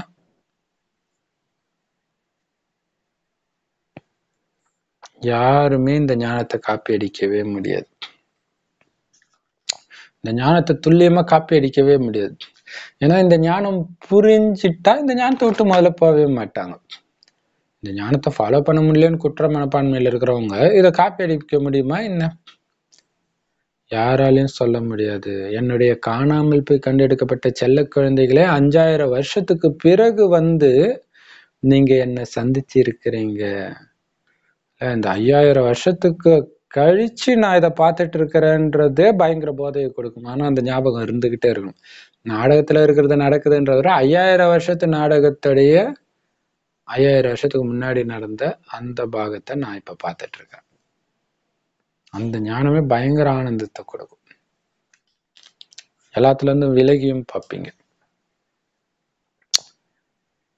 அப்ப இந்த சிஸ்டருக்கு நடந்த சம்பவத்தையே அவங்க இந்த இதோட பார்த்தா ஓ ஐயாயிரம் வருஷம் முன்னாடி இந்த குடிகாரன் இப்படிதான் என்ன சம்மந்தமே இல்லாம ஒம்பு வளர்த்தானான்னு நினைச்சா சிரிப்பா இருக்கும்.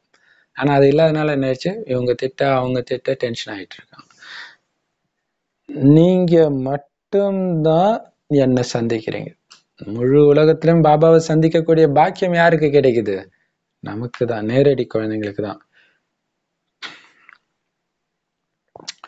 இன்னும் நிறைய பேர் வருவாங்க. பாபா சந்திச்சுக்கிட்டே இருப்பாங்க. ராஜ்யம் உருவாகிறதுல நிறைய கடின உழைப்பு இருக்குது. இல்லையா? பலருடைய உழைப்பு இருக்குது. ஸோ எல்லாரும் வருவாங்க. ராஜா ராணியா ஆகிறது ஒருத்தர் தான் ஆவாங்க.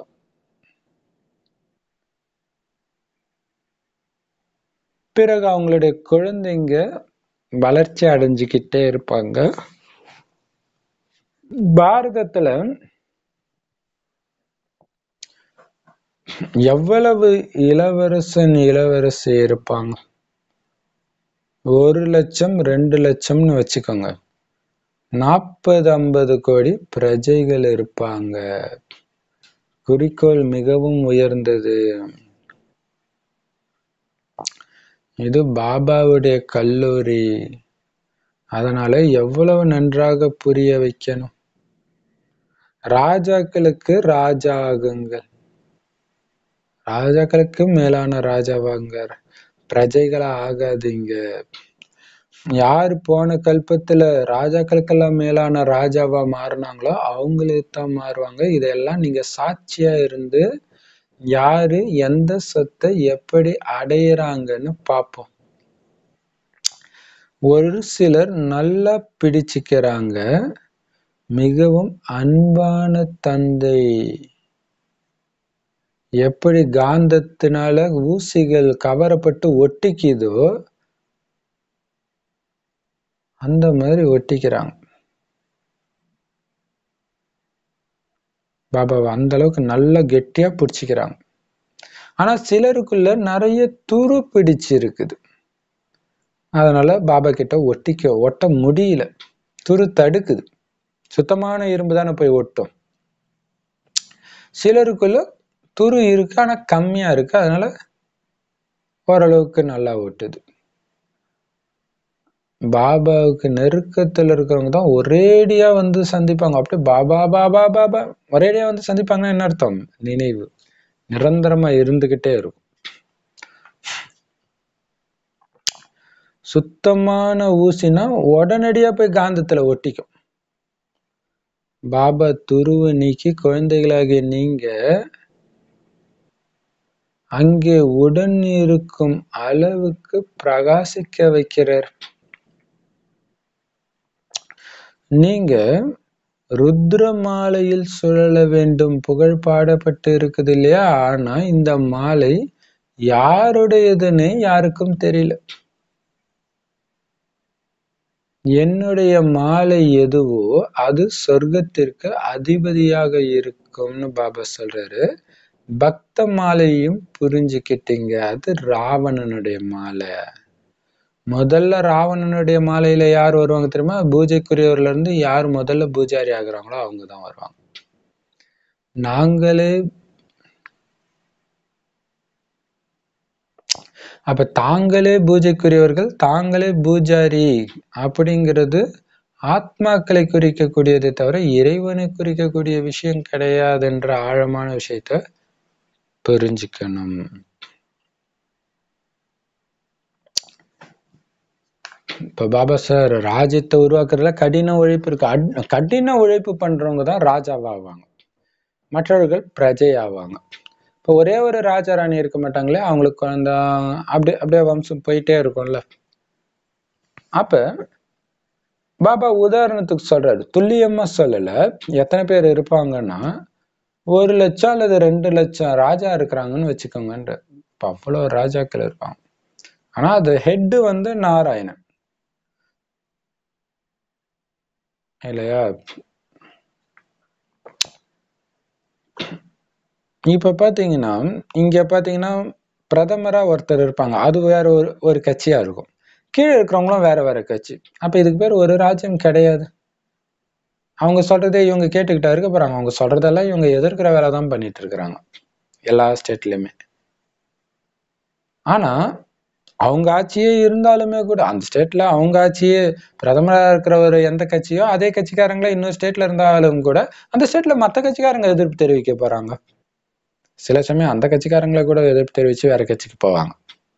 அதனால தான் அதை ஒரே ராஜ்யம்னு சொல்ல முடியாது. இப்போ இருக்கிறது. ஆனால் பேருக்கு ஏதோ ஒரே ராஜ்யம் மாதிரி வெளியில தெரியும். ஆனா அப்படி கிடையாது. எல்லா நாட்டிலுமே இப்படித்தான். ஆனா அங்க நாராயணன் சொல்றபடி தான் எல்லாரும் நடந்துக்குவாங்க. கொஞ்சம் கூட எதிர்ப்பு எண்ணத்தின் அளவு கூட வராது. உள்ளடக்கிக்கிறது இல்லை. எண்ணத்துல கூட அப்படியே. இது இப்படித்தான். அவங்க சொல்றதான் நான் கேட்கணுன்ற உணர்வு இருந்தது. அவன் சொல்றதை ஏன் கேட்கணுன்ற எண்ணம் வந்தது. ராவணன் வந்துட்டான். அப்பதான் பிரச்சனை. நாட்டை பிடிக்கிறது இதை பிடிக்கிறது அதை பிடிக்கிறது. கேட்டா நான் என்ன உனக்கு அடிமையான்னு சொல்றது? நான் உனக்கு அடிமையான்னு ஒருத்தன் சொல்றான்னா அவன் மாயாவுக்கு அடிமையாயிட்டான்னு அர்த்தம்.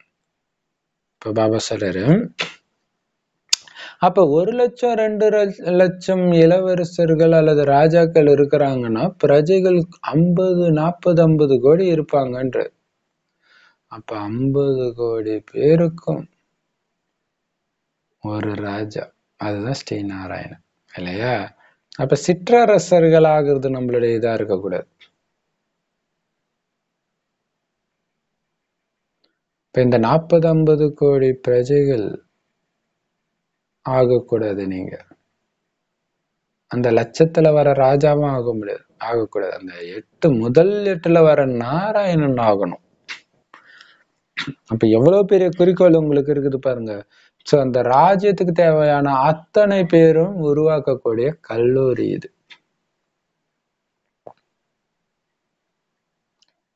சோ இது ஈஸ்வரனுடைய கல்லூரி கடவுளுடைய கல்லூரி. அப்ப இங்க எவ்வளவு நல்லா புரிய வைக்கணும்ன்றாரு. ரொம்ப முக்கியம் இல்லையா? சாதாரண இதுவா இது? இப்போ ஒண்ணும் இல்ல ஒரு சாதாரண ஸ்கூல் இருக்குதுன்னு வச்சுக்கோங்களேன். ஸ்கூல்ல வந்து டீச்சர் வந்து அப்படியே படிச்சுட்டு போறாருன்னு வச்சுக்கோங்க.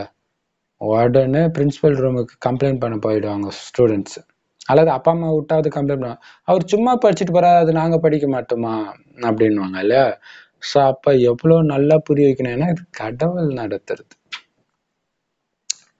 ராஜாக்களுக்கெல்லாம் மேலான ராஜஸ்ரீ நாராயணன் ஆகணும். பிரஜையா ஆகக்கூடாது. அதுக்கு நீங்க வரல அது ஃபெயில் ஆனது அப்படிங்கிறார். அப்படின்னு என்ன அர்த்தம்? பாபா சொன்ன வழிப்படி நடந்தா பாபா சொன்ன வழிப்படி மட்டும் நடந்தா ராஜாவாவீங்க. பாபா சொன்ன வழியோடு சேர்த்து உங்களுடைய மன வழி புத்தி வழி இதன்படி கலந்து விகாரத்துல முழுகினீங்கன்னா பிரஜையாயிடுவீங்க. பிரஜையாகாதீங்க. முந்தைய கல்பத்துல யாரு பாபா சொன்னதையே தாரக மந்திரமா நினைச்சு அதன்படியே நடந்தாங்களோ அவங்க தான் இப்பவும் அதே மாதிரி நடந்து ராஜாவாவாங்க. சோ எப்படியெல்லாம் ராஜா பதவியை அடையிறாங்கன்றத சாட்சியா இருந்து நாம பாக்குறோம் அப்ப பார்ப்பாங்க. என்ன பிரச்சனை வந்தாலும் அமைதியா அன்பா இருக்கிறவங்க அந்த மாதிரி நாராயணன் பதவி அடைகிறது வந்து எல்லோருக்கும் காட்சியும் கிடைக்கும். அப்ப நமக்கு தெரியும் எல்லாருடைய வாழ்க்கை வரலாறும். அவங்க என்னென்ன தடையெல்லாம் எவ்வளவு சிரிச்ச முகத்தோட எதிர்கொண்டு அந்த பதவி அடைஞ்சாங்கன்றத நம்ம பார்க்கிறோம். பார்ப்போம் ஒரு சிலர் அப்படியே பாபாவை கெட்டியா பிடிச்சிக்கிறான் பாபாவை தவிர அவங்களுக்கு இந்த உலகத்துல உள்ள எதுவுமே பிடிக்கல. ஏன்னா அவங்க ஆத்மா அவ்வளவு தூய்மையா இருக்குது. அதனால டக்குன்னு போய் ஒட்டிக்குச்சு. ஆனா நிறைய பேருக்கு தேக அபிமானன்ற துரு வந்து பாபா கிட்ட ஒட்ட விட மாட்டேங்குது. பாபா சொல்ற மாதிரியே நடக்க விட மாட்டேங்குது. ஐயோ இது மோசமா இருக்குதே. பாபாவை விட்டு போயிடலாமான்னு யோசிச்சுட்டு இருக்கும். ஆனா பாபா கிடைச்ச கடவுளே கிடைச்சிட்டாரு. இங்க கடவுள் என்னோட அப்பாவை கிடைச்சிட்டாரு. மத்த எல்லாத்தையும் தூக்கி கிடைச்சிட்டு அப்படியே போய் பாபா கிட்ட ஒட்டிக்குவாங்க. யாரு? தூய்மையான ஆத்மாக்கு பாபா மேல அந்த மாதிரி அன்பு. சோ அந்த மாதிரி அன்பு வர வைக்கிறதுக்கு தூய்மை ஆக்குறதுக்கும் நீங்க பாபாவை நினைக்க நினைக்க தான் ஆத்மாவில உள்ள துரு நீங்கும். சோ அதே மாதிரி முரளி கேட்க கேட்க கேட்க அது நீங்கும்.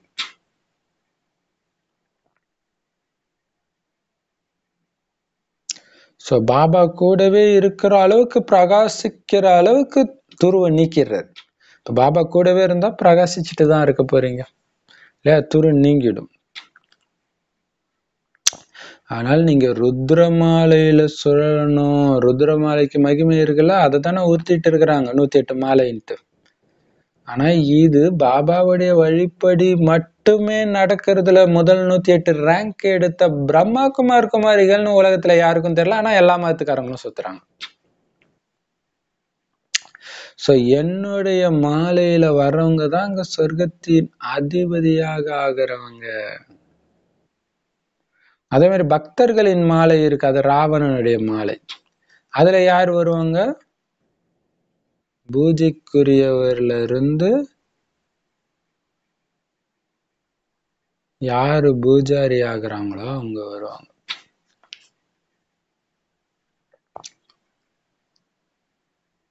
அந் அந்த ராஜ்யம் அடையிறதுலயும் பக்திக்கு தொடர்பு இருக்கு. பக்தி பக்காவா பண்ண அவங்களும் பாத்தீங்கன்னா தேவதையா தான் இருப்பாங்க. அந்த ராஜாக்கள் நரகத்துல வர ராஜாக்களுமே பாத்தீங்கன்னா தேவதைகளா தான் இருக்கிறாங்க.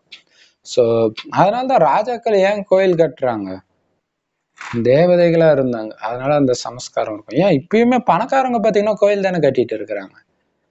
அப்ப எல்லாமே பாத்தீங்கன்னா அங்க இருந்து வந்தவங்க தான் எல்லாமே. சோ பூஜைக்குரியவரா இருந்து நீங்களே பூஜாரி ஆகுறீங்கன்றது எவ்வளவு ஆழமான விஷயம்.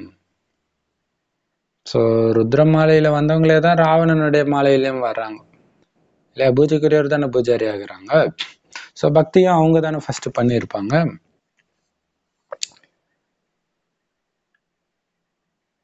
பாபா சார் நீங்க வள்ளல்.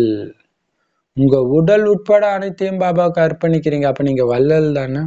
யாரோ ஒருத்தர் புறாவுக்கு தன்னுடைய தோலை அறுத்து கொடுத்தாராம். அவரு ஒரு பெரிய வள்ளல்னுவாங்க. ஒரு தேரை ஒரு கொடிக்கு கொடுத்துட்டாராம். அவரு ஒரு பெரிய வள்ளல்ன்றாங்க. உங்களுடைய அனைத்தையும் பாபா கிட்ட ஒப்படைக்கிறீங்களே நீங்க வள்ளல் தானேன்னு பாபா சொல்றாரு. சூப்பர் இல்ல ஆனா பாபாவே வள்ளல் வள்ளலுக்கே கொடுக்குறீங்களா? ஆனா இங்க கொடுக்கறது எதுக்கு? திரும்ப அடையிறதுக்கு. இந்த மாதிரி வள்ளலாக சன்னியாசிகள் ஆக முடியாது. ஏன்னா அவங்க வீடு வாசலை விட்டுட்டு காட்டுக்கு போயிடுறாங்க. அவங்க ஒண்ணும் கடவுளுக்காக எதையும் கொடுக்கல. வீடு வாசல் ரொம்ப தொல்லை கொடுக்குதுன்னு விட்டுட்டு வெளில வந்துடுறாங்க. ஆனா நீங்க அனைத்தையும் வீட்டுல இருந்துகிட்டு அனைத்தையும் ஈஸ்வரனுக்கு அர்ப்பணிக்கிறீங்க. இது ஏன் குழந்தை கிடையாது? என்னுடைய உறவு கிடையாது. எல்லாம் உன்னுடையவர்கள். எல்லாரும் உன்னுடைய குழந்தை.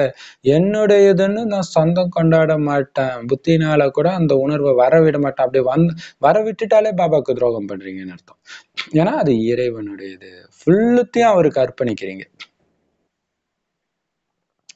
அப்ப நீங்க வள்ளல் தானே? அனைத்தும் இறைவனுக்காக. ஒரு சினிமா பாட்டு வரும். எதற்காக எல்லாம் செய்தேன் அன்பே உனக்காகன்ட்டு. அந்த மாதிரி நம்ம எல்லாமே என்னது? எதற்காக எல்லாம் செய்தேன் பாபா உனக்காக. என் காதலனே என் அப்பாவே எல்லாமே இல்லையா? எல்லாமே நான் உனக்காக தான் அர்ப்பணிக்கிறேன் ஸோ அது மைண்ட்ல இருந்துகிட்டே இருக்கணும். எல்லாம் பாபா என் எனக்குன்னு எதுவுமே இருக்கக்கூடாது. அப்படி நீங்க பண்ணீங்கன்னா பாபா என்ன தெரியுமா சொல்றாரு? என்னுடையது அனைத்தும் குழந்தைகளே உங்களுக்காகத்தான். நான் எடுத்துட்டு வந்திருக்கிற இந்த சொர்க்கம் இந்த சொர்க்கமே உனக்காக தான் ஆனா இதை அடையினா நீ என்ன பண்ணணும்? ஃபுல்லா அப்படியே அர்ப்பணிக்கணும். அதாவது அனைத்தையும் பாபா வழிப்படி மட்டும்தான் நடக்கணும். இந்த லைன் இந்த பேரை வந்து ரொம்ப ரொம்ப ரொம்ப முக்கியமான விஷயம். இதை நீங்க ஆழமா சிந்தனை பண்ணிக்கிட்டே இருக்கலாம் ஒரு நாள் ஃபுல்லா அப்படி ஒரு போதையா இருப்பீங்க. வாழ்நாள் ஃபுல்லா இதே சிந்தனையில இருங்க. ஏன்னா என்னுடையதுன்னு ஒட்டும் போதுதான் நம்ம மாட்டிக்கிறோம். ஃபுல்லா அர்ப்பணம் ஃபுல்லா பாபா சொல்ற மாதிரியே பண்றோமா? எஜமானன் அவர் என் இது எதுவுமே கிடையாது. ஆத்மா நான் அவ்வளவுதான். உடம்பு கூட என் இது கிடையாது. அப்படி இங்க ஒப்படைச்சிட்டீங்க அர்ப்பணிச்சிட்டீங்கன்னா என்னுடையது அனைத்தையும் குழந்தைய நான் உனக்கு அர்ப்பணிக்கிறேன்றார். மனிதர்கள் சாகும்போது எல்லா பொருளையும் வெட்டியானுக்கு கொடுக்குறாங்க. ஏன்? அவனே செத்துட்டான். அதுக்கப்புறம் அவன் பொருளை வச்சுட்டு நம்ம என்ன பண்ண போறோம்னு வெட்டியானுக்கு கொடுக்குறாங்க. அதே மாதிரி தான் நீங்களும் செத்துட்டீங்க. இப்போ பாபாவே வெட்டியானா வந்து எல்லாத்தையும் வாங்கிக்கிறார். அதனால்தான் அவர் சுடுகாட்டில் இருக்கிறதா காட்டுறதும். நானும் வெட்டியான் தான் நம்மள உலகத்துக்கே எஜமானன் ஆக்குற சிவபாபா வெட்டியா? செம சூப்பர் இல்லை? என்கிட்ட எல்லாத்தையும் கொடுத்துடுங்க. செத்துட்டீங்கல்ல? உங்களுக்கு இறுதி சடங்கு தானே நான் பண்றேன்? எனக்கு கொடுங்க. உங்களுடைய உங்ககிட்ட இருக்கிற அனைத்து பழைய பொருட்களையும் பாபாவுக்கு தானம் செய்றீங்க. அதாவது அர்ப்பணிக்கிறீங்க. அப்படின்னா பாபாட்ட கொடுக்குறீங்கன்னு அர்த்தம் கிடையாது. என்னுடையது கிடையாதுன்னு பாபாவுடையதுன்ற உணர்வுல பாபாவுடைய வழிப்படி அதை நடத்துறது உறவுகளை வளர்க்குறது எல்லாமே. அப்படி அர்ப்பணம் செய்யறதுனால தான் உங்களுக்கே அது பயன்படுது. பாபா எந்த பில்டிங்கையும் தனக்காக கட்டல. அவரோ வள்ளல் சிவன். அந்த பில்டிங்கையும் மதுபன்ல குழந்தைகளாகி உங்களுக்கு தான் கட்டுறாரு. சொர்க்கத்திலையும் ராஜ பதவியையும் உங்களுக்கு தான் கொடுக்கிறார். அவர் ஆளல் அவர் வல்லல் இப்ப கர்ணன் சொல்றாங்களா அது யாரு? சிவபாபா தான் சொல்ல முடியும். அதனால எல்லா பதவியும் உங்களுக்கு அவர் கொடுக்கறதுனால இவரை வியாபாரினும் சொல்றாங்க. ஏன்னா ஒன்ன வாங்கி இன்னொன்னு கொடுக்கறதுனால வியாபாரி. எதை வாங்குறாரு? உங்களுடைய பழைய பொருட்களை வாங்கி எதுக்கும் உதவாத பழைய பொருட்களை வாங்கி உலக ராஜ்யத்தையே கொடுக்குறாரு இல்லையா? அதனால இவரை வியாபாரினும் சொல்றாங்க. பாருங்க இதெல்லாம் எவ்வளவு இனிமையிலும் இனிமையான விஷயங்கள். எக்ஸாம் முடிய போகுது குழந்தை. இப்ப சங்கம் யுகம் ஆரம்பிச்சதுல இருந்தே எக்ஸாம் ஸ்டார்ட் ஸோ கடைசி எக்ஸாம் அந்த நொடி வரப்போகுது. பாபா எப்பதான் பாபா இந்த டெஸ்ட் பேப்பர் முடியும்? மாயா வந்துகிட்டே இருக்குது. பாபா சார் குழந்தை நீ எப்ப இறக்குறியோ அப்ப முடியும் எப்ப இந்த ஞானம் நிறைவடையுதோ அப்ப முடியும் இந்த உலக அழிவும் ஆரம்பமாகும்.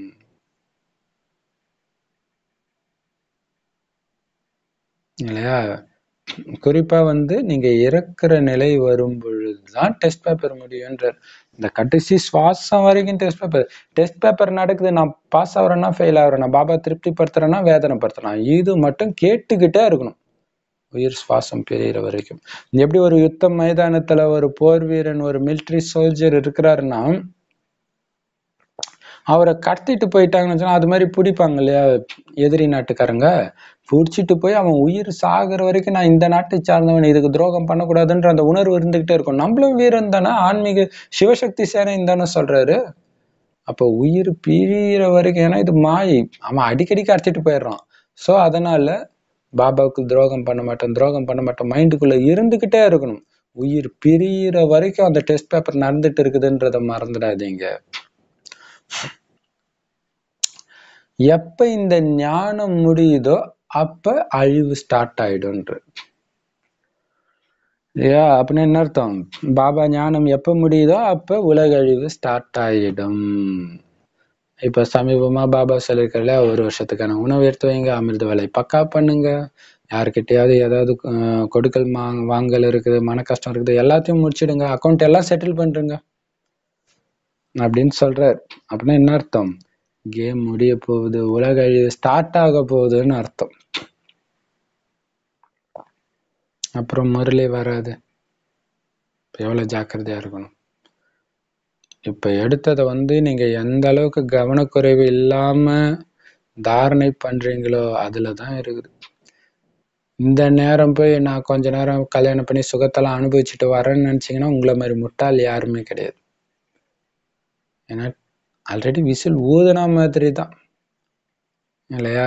ஸோ அந்த மாதிரி தாதியுடைய உடல் நிலையம் அப்படி இருக்குது. போர் ஆரம்பிச்சிச்சுன்னா அதுக்கப்புறம் முடியவே முடியாதுன்றாரு.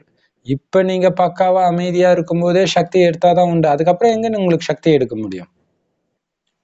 அமைதியான நேரத்துல சும்மா குடும்பத்தில் ஒரு பிரச்சனை அல்லது சென்டரில் ஒரு பிரச்சனை அதுக்கே உங்களுக்கு யோகா வரலன்னா திரும்புகிற பக்கம்லாம் வெட்டு கொலை கற்பழிப்பு அது இதுன்னு நடக்கிற மாதிரி உலகம் மாறும்போது எப்படி உங்களுக்கு யோகா வரும்? அதனால எச்சரிக்கையா இருங்க ஒரு வினாடி கூட வீணாக்காதீங்க அலட்சியப்படுத்தாதீங்க. வாயில அப்ப உலக அழிவு ஸ்டார்ட் ஆயிடும். அதுக்கப்புறம் என்ன ஆகும்? உங்க வாயில தங்க ஸ்பூன் தான் இருக்கும். அதோட முடிஞ்சிச்சு. துக்கத்துடைய உச்சிக்கு முடிஞ்ச உடனே சுகத்தின் உச்சி ஸ்டார்ட் ஆயிடும். வாயில தங்க ஸ்பூன் இருக்கும். பிறக்கும் பொழுது அப்படின்னு என்ன அர்த்தம்? ராஜ குடும்பத்துல பிறப்பீங்க. இங்க நீங்க முப்பது நாற்பது வருஷம் படிக்கிறீங்க. அதோடைய பலன் இங்கேயே உங்களுக்கு கிடைச்சிடுது.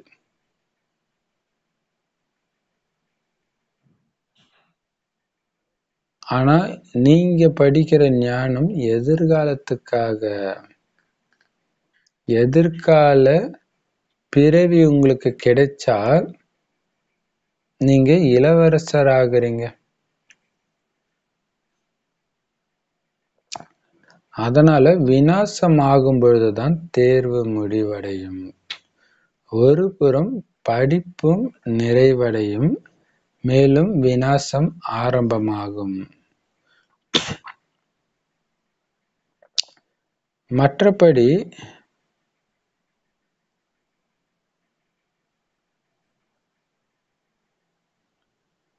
ஒத்திகை நடைபெற்று கொண்டே இருக்கும் பிறகு இந்த படிப்பின் பலன் உங்களுக்கு புது உலகத்துல கிடைச்சிடுது. அங்க ஆத்மா உடல் ராஜ்யம் எல்லாமே புதுசா இருக்குது. இது மிகவும் ஆழமான தாரணை பண்ண வேண்டிய விஷயங்கள். அதனால படிப்பை ஒரு பொழுதும் விடக்கூடாது. பாபா வந்து புரிய வைக்கிறாரு அதிசயமான விஷயங்கள் இல்லையா? கடவுளே வந்து புரிய வைப்பாரு? எவ்வளவு அதிசயமான விஷயங்கள். தாமதமா வர்றவங்க கூட உடனே ஞானத்துல யோகத்துல ஈடுபட்டீங்கன்னா உயர்ந்த பதவி அடைய முடியும். நல்லது.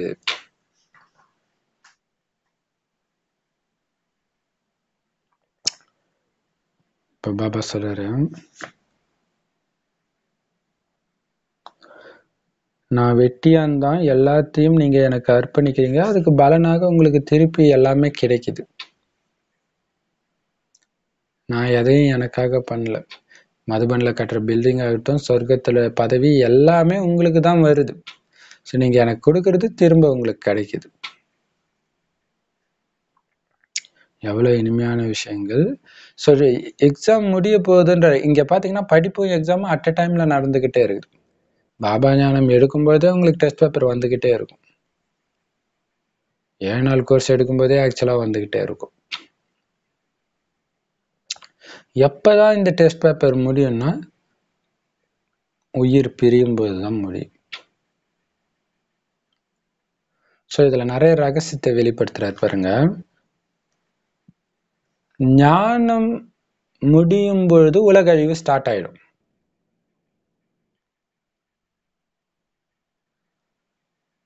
இப்ப டெஸ்ட் பேப்பர் வருது. டெஸ்ட் பேப்பர்ல இருந்து தப்பிக்கிறதுக்கான சொல்யூஷன் வானியில் வந்துட்டு இருக்குது. நான் உலக அழிவு ஸ்டார்ட் ஆகும்போது ஞானமே முடிஞ்சிடும். உங்க கைக்கு முரளி வருமா வராதா தெரியாது. உங்க வீட்டுல சேர்த்து வச்சிருக்கிற முரளி கூட உங்க கூட இருக்குமா இருக்காதா? அதுவும் தெரியாது. கரண்ட் இருக்குமா இருக்காதா? கரண்ட் கண்டிப்பா இருக்காது. இல்லையா? இப்ப எப்படி இருக்கும்? இப்ப நீங்க எந்த அளவுக்கு தாரணை பண்ணிருக்கீங்களோ அதுதான் வரும். அதுக்காக தான் சொல்றது முரளியில முக்கியமான பாயிண்ட் அது இந்த டேட் அந்த டேட் இல்ல. முக்கியமான பாயிண்ட் அப்படி சாரமா எடுத்து என்னென்ன டெஸ்ட் பேப்பருக்கு என்னென்ன வேணும்? அப்படின்னு எழுதுவீங்க முதல்ல நான் அப்படி பண்ணி வைப்பேன். இப்ப பண்றது இல்ல ஸோ அதை பண்ணணும். அது ரொம்ப முக்கியம். ஏன்னா அது மனப்பாடமா உங்களுக்கு ஞாபகம் இருக்கணும். ஏன்னா கடைசியில் முரளி கையில இருக்காது எதுவுமே இருக்காது. எத்தனை வருஷம் இருப்போமோ தெரியாது. மீண்டும் மீண்டும் மீண்டும் அது இருந்துகிட்டு நான் அப்பா நம்மள வளர்த்தது வந்து கடைசியில வெறும் டெஸ்ட் பேப்பர் முரளியே இல்லாம. அப்போ எப்படி இருக்கும்? அதனால்தான் பாபா சொல்கிறாரு நிறைய பேர் வந்து எக்ஸாம் ஹால்ல உட்காந்துட்டு ஐயோ இந்த இது நடத்துற அன்னைக்கு நான் வரலையே. இங்க அதெல்லாம் சொல்ல முடியாது. எல்லாமே இருக்கு நெட்ல நீங்க படிக்கலைன்னா அவரு என்ன பண்ண முடியும்? ஒரு முரளியும் ஒருபொழுதும் மிஸ் பண்ணாதீங்க. அது ரொம்ப முக்கியம் இல்லையா? இப்ப பாபா சொல்றாரு இங்க முப்பது நாற்பது வருஷமா படிக்கிறாங்க. இல்லையா? சரி முப்பது வருஷம் படிக்கிறாங்க. நாற்பது வருஷம் ஆமா பிஹெச்டி அது மாதிரிலாம் பண்ண பண் படிக்கலாம். ஸோ அதோடைய பலனை இங்கேயே தான் அனுபவிக்கிறீங்க. ஆனா இப்ப பாபாவுடைய இந்த ஞானம் எடுக்கிறதுடைய பலன் அடுத்த இருபத்தி ஓரு பிறவிக்கு உங்களுக்கு வரப்போகுது.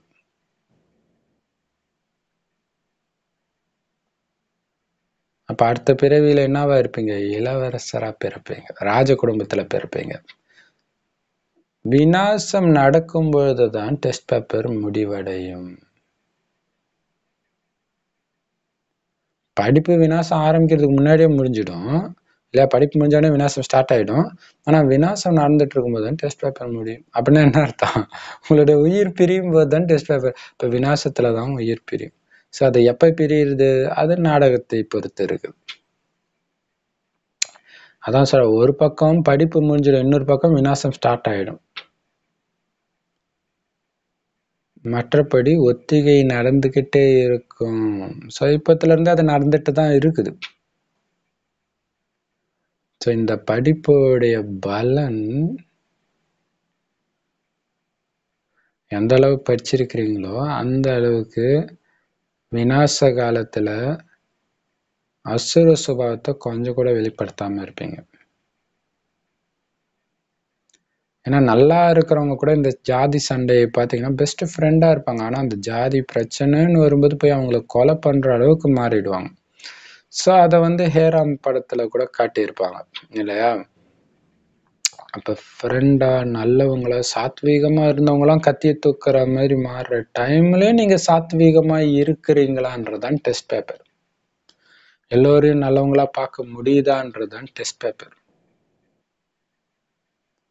உங்களுக்கு மட்டும் இல்லை உங்க குடும்பத்துக்கே பயங்கர துக்கம் இழைத்தவர்களோடவும் அன்பா உங்களால இருக்க முடியுதான்றதுதான் டெஸ்ட் பேப்பர் அந்த அளவுக்கு தெய்வீக குணத்தை மாத்திக்கிட்டே இருக்கும் தெய்வீக குணத்தை நிரப்பிக்கிட்டே இருக்கணும். எல்லோரும் நல்லவங்களா பாக்குற பழக்கத்தை பக்காவாக்கணும் என்ன பண்ணாலும் அவன் எனக்கு நல்லவனா தான் தெரிவான் அப்படின்னு மாத்தணும். அதுக்குதான் இங்க படிப்பு நடந்துட்டு இருக்குது. அப்படி நீங்கள் இந்த படிப்புடைய இந்த படிப்பு எந்த அளவுக்கு ஆழமாக இருக்குதுன்றத டெஸ்ட் பேப்பரில் தெரிஞ்சுக்குவீங்க. அந்த டெஸ்ட் பேப்பரில் உங்களுடைய பெர்ஃபார்மன்ஸ் வச்சு தான் உங்களுடைய பதவி நிர்ணயிக்கப்படுது. தாரணை பண்ணுங்க பண்ணுங்கன்றது பாபா அதுக்காக தான் பண்ண சொல்கிறார் எவ்வளோ ஏன்னா இந்த இந்த தா குணதாரணையை வச்சு தான் கடைசியில். இல்லை யோகா ஏன்னா படிப்பு முடிஞ்சிடும்.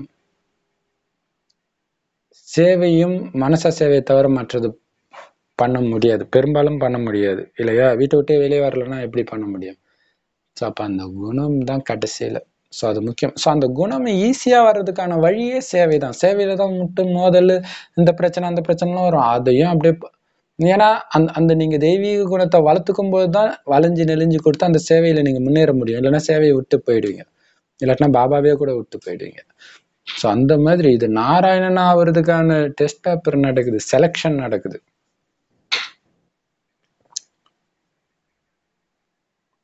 இதுக்கு பார்த்தீங்கன்னா வெளிநாட்டு சேனல்ல இப்போ இந்தியாவில் கூட அப்படிலாம் நடக்குதுன்னு நினைக்கிறேன். டிவியில் பார்த்தீங்கன்னா டாலரன்ஸ் பவர் அதுக்கு என்னென்னமோ அந்த ப்ரோக்ராம் பேர் தெரில பட் அப்படியே போய் தண்ணிக்குள்ள நடப்பாங்க பசியில் பட்டினியில் கிடப்பாங்க.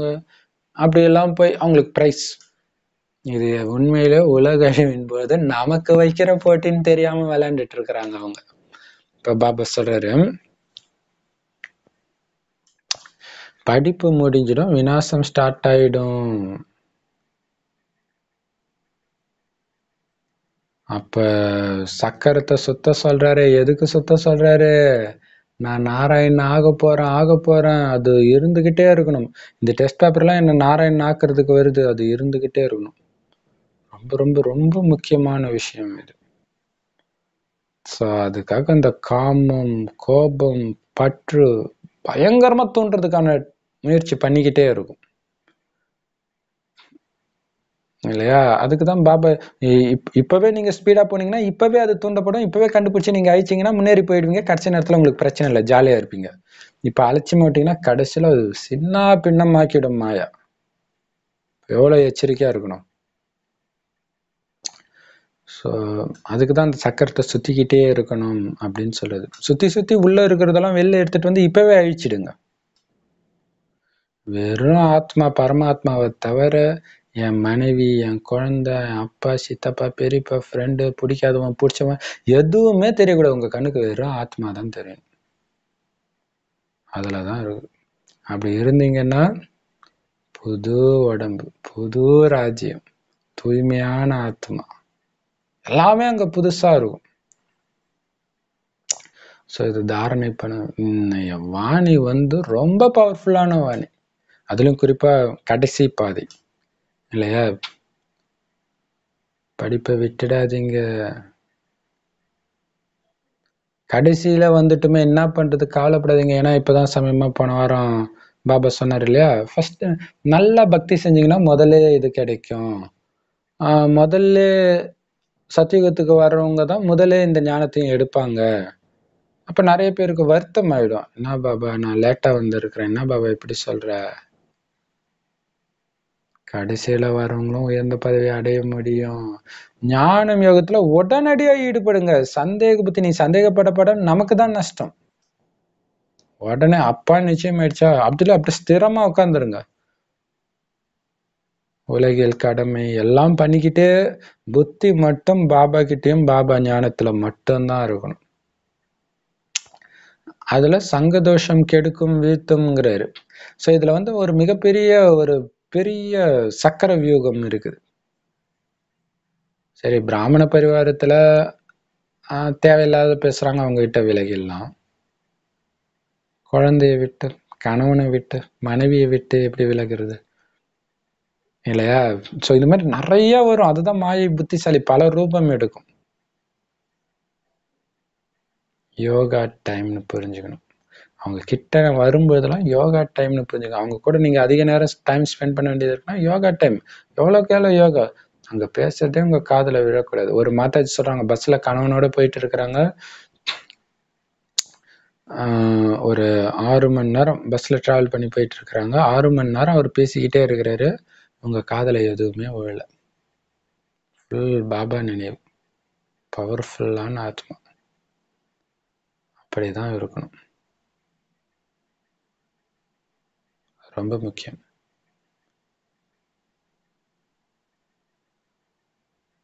அந்த ஆத்மா அந்த மாதிரி அந்த நார்மலா நல்லா பேசுற அந்த முயற்சி செய்கிற டைம்ல நான் உங்களை பார்த்துருக்குறேன் சந்திச்சிருக்கிறேன். ஆனால் இப்போ வந்து அவங்க திட்டத்தட்ட கர்மாதி ஸ்டேஜ் கிட்ட போயிட்டாங்க அப்படின்றத கேள்விப்பட்டேன். ரொம்ப சின்ன வயசு தான் அவங்க. முப்பது முப்பத்தஞ்சு தான் இருக்கும். இப்போ பாருங்க அப்போ அந்த அந்த கர்மாதித்த நிலை வர்ற கிட்ட வந்தாங்கன்னு டைம் ஸ்டார்ட் ஆயிடுச்சுன்னு அர்த்தம். கடைசி டைம் இப்போ எவ்வளோ எச்சரிக்கையாக இருக்கணும் இல்லையா? அதனால கடைசி வந்தீங்கன்னு கவலைப்படாதீங்க. ஞானத்திலும் யோகத்திலையும் புத்தியை பிஸி ஆக்குங்க மூழ்கடிங்க. உயர்ந்த பதவியை அடைவீங்க. நல்லது. பயங்கர எச்சரிக்கையான வாணி. இன்னைக்கு வாணி எனக்கு ச்சே அதுக்குள்ள முடிஞ்சிச்சேன்னு நினைக்கிற மாதிரி இருக்குது. அவ்வளோ அற்புதமான வாணி. இனிமையிலும் இனிமையான. பாருங்களேன் இந்த வாணி வந்து நம்ம இதுலயே மூழ்கிறதுலதான் ஆனந்தம். ஆனா ஒரு சிலர் எனக்கு அது கஷ்டமா இருக்குது. சீக்கிரமா முடிங்க அப்படின்ட்டு வழக்கமா யாரும் சொல்ல மாட்டாங்க. இந்த வீடியோ பாக்குறவங்க புதுசா ஒரு ஆத்மா அப்படி சொல்லியிருக்கிறாங்க.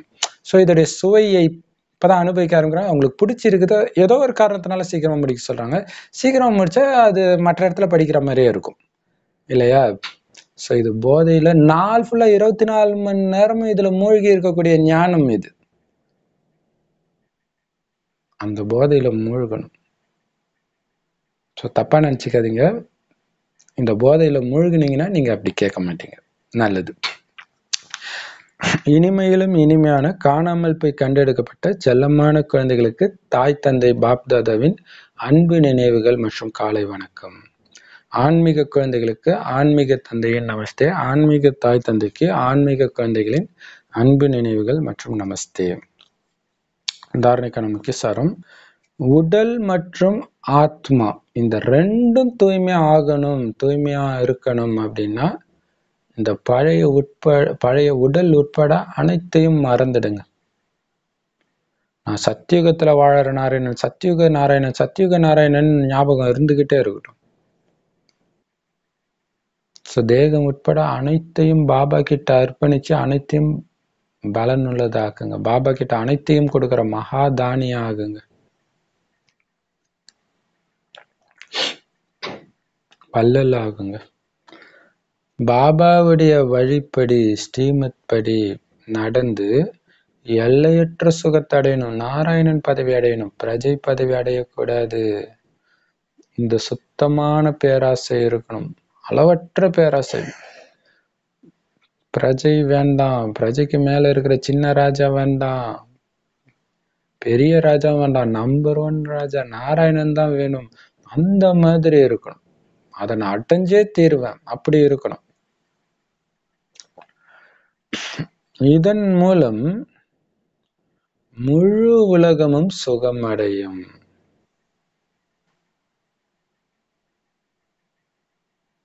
ஏன்னா இந்த பேராசையில தான் ஒட்டுமொத்த உலகத்துக்குமே நன்மை.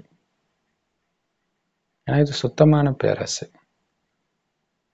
மற்றபடி அசுத்த பேராசையெல்லாம் தியாகம் செய்யுங்க. எல்லைக்குட்பட்ட விருப்பமே உங்களுக்கு இருக்கக்கூடாது. நேற்று வானிலை சொன்னார் இல்லையா? அப்படி இருந்தா உங்களால நிரம்பியவரா அனுபவம் பண்ண முடியாது அப்படின்னு சொல்றாரு. வரதானம். மகாவீரராகி ஒவ்வொரு எண்ணத்தையும் சொரூபத்துல கொண்டுட்டு வரக்கூடிய சதா வெற்றி அடையும் வெற்றிமூர்த்தி ஆகுங்கள். மகாவீரராகி ஒவ்வொரு எண்ணத்தையும் சொரூபத்தில் கொண்டு வரக்கூடிய சதா வெற்றி அடையும் வெற்றிமூர்த்தி ஆகுங்கள். அதுக்கு விளக்கம் செம பவர்ஃபுல்லான வரதானம். பாருங்க. எந்த ஒரு சிறப்பான எண்ணம் உங்களுக்கு தோன்றினாலும் உறுதியா இருங்க. அதை நான் நிறைவேற்றியே தீருவேன். உடனடியா நிறைவேற்றிடுவேன்றதுல உறுதியா இருங்க.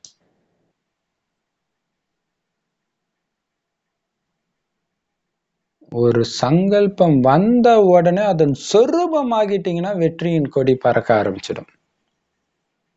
இது வந்து அஞ்ஞானத்தில் கூட சக்ஸஸ்க்கு ஒரு ஃபார்முலாவை சொல்லுவாங்க. நீங்கள் எந்த இலக்கை அடையணுமோ அந்த இலக்கையே சுவாசிங்க அந்த இலக்கையே நினைங்க. உங்களுடைய ஒவ்வொரு அடியும் அந்த இலக்கை நோக்கியே இருக்கட்டும்னுவாங்க.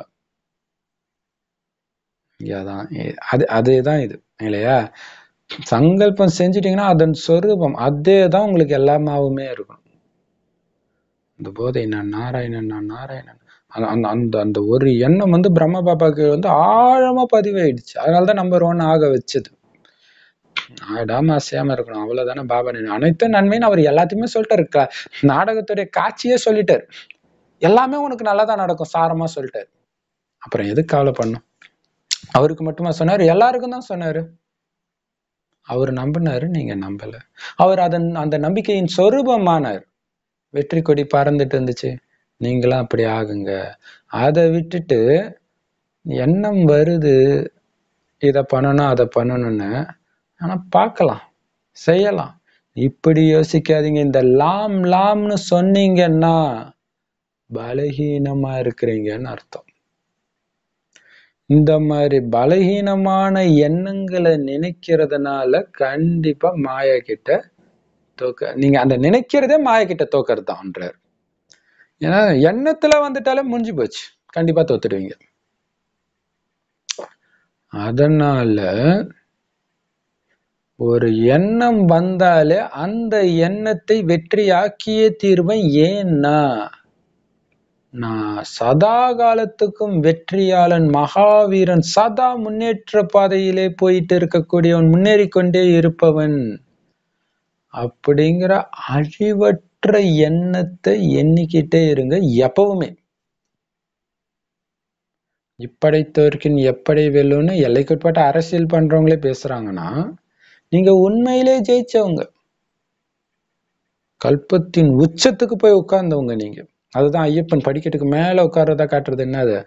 கல்பத்தின் உச்சம் ஸ்ரீ நாராயணன் ஆனவங்க நீங்க. நினைச்சா நான் பண்ணிடுவேன். நான் வெற்றியாளன். நினைச்சிட்டா முடியாதது எதுவுமே கிடையாது. மகாவீரன் நான். மாயை புறமுதுகிட்டு ஓட வச்சவன் நான். விகாரங்களை விரட்டிக்கிட்டே இருங்கன்னாரு இல்லையா? சோ அந்த மாதிரி மகாவீரன் நான் முடியுமா இல்ல? முடிஞ்சிடுச்சு. பண்ணிட்டேன். அதன் சொரூபமாவே ஆயிட்டேன்.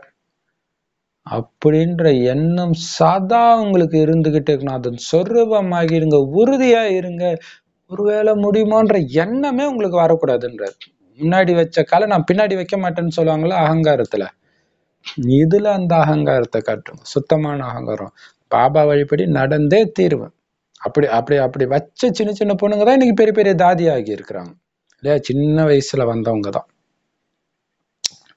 ஏன்னா இப்ப அதாவது சம உரிமை இருக்குது பெண்கள் வேலைக்கு போறாங்க. இப்ப பாபா குழந்தை ஆகிறது உண்மையிலே கஷ்டமே கிடையாது. ஆனா இதுக்கே பயந்துன்னு இருக்கிறாங்க. ஆனா அந்த காலத்துல ஆயிரத்தி தொள்ளாயிரத்தி முப்பத்தி ஆறுல பெண்கள் வீட்டை விட்டே வெளியே வராதவங்க. படிப்பு வாசனையே கிடையாது பெண்களுக்கு. ஆக்சுவலா ஆண்களுக்குமே அந்த டைம் கிடையாது. பெண்களுக்கு சுத்தமாரும் கிடையாது. அப்பவே தைரியமா வந்தாங்கல்ல. அப்படியே நான் இருப்பேன்னு இருந்தாங்கல்ல. அதுதானே அவங்கள வெற்றி அடைய வச்சுது. இவ்வளவு பெரிய பதவியை வ- இப்பவும் சரி எதிர்காலத்துக்கும் வர வைக்குது. அந்த மாதிரி அழிவற்ற எண்ணத்தை வைங்க. உயர்ந்த எண்ணத்தை உருவாக்குங்க. அந்த எண்ணத்திலே மூழ்கிடுங்க. அதை தவிர வேற எந்த எண்ணமும் உங்களுக்கு தெரியக்கூடாது உலகம்லாம் இப்படி நடக்கும் அப்படி நடக்கணும்னா எனக்கு சாதகமாக தான் நடக்கும் போ. வேற எண்ணமே வரக்கூடாது. முடிஞ்சிச்சு. நான் நினைச்சது நடந்துச்சு நடந்துச்சு. அதே தான் இருக்கணும். இந்த எண்ணங்கள் மூலமாக தான் வெற்றி மூர்த்தியா ஆகிடுவீங்க.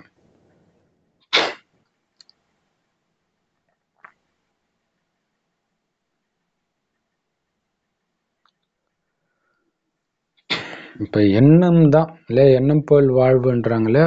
ஸோ அப்போ ஒரு திடு சங்கல்ப் கரோன்னு ஒரு பாபா அது நல்லா ஞாபகம் இருக்கு இல்லையா? திட்டமான சங்கல்பம். எங்க சும்மா சாதாரண எண்ணம். எல்லாரும் நாராயணாகனா எல்லாரும் தான் கை தூக்குவாங்க. ஆனா அதுல திடமாக எப்படி இருக்கிறாங்க? இதோ அடுத்த டெஸ்ட் பேப்பர்ல நான் ஃபெயில் ஆயிட்டேன்னா நாராயணன் பதவி போயிடுச்சு. அது மைண்ட்ல இருந்துகிட்டே இருக்கும். அதனாலதான் அம்மா இது கடைசி நொடி கடைசி நொடின்னு இருந்தது. ஸோ வெற்றி மூர்த்தி நான் அப்படிங்கிற எண்ணத்துலையும் திடமாக இருங்க. பாபா சொன்ன அனைத்து வழியையும் நான் இப்போதுலேருந்தே ஃபாலோ பண்ணியே தீருவேன் ஒன்று கூட விட மாட்டேன். அப்படி இருங்க.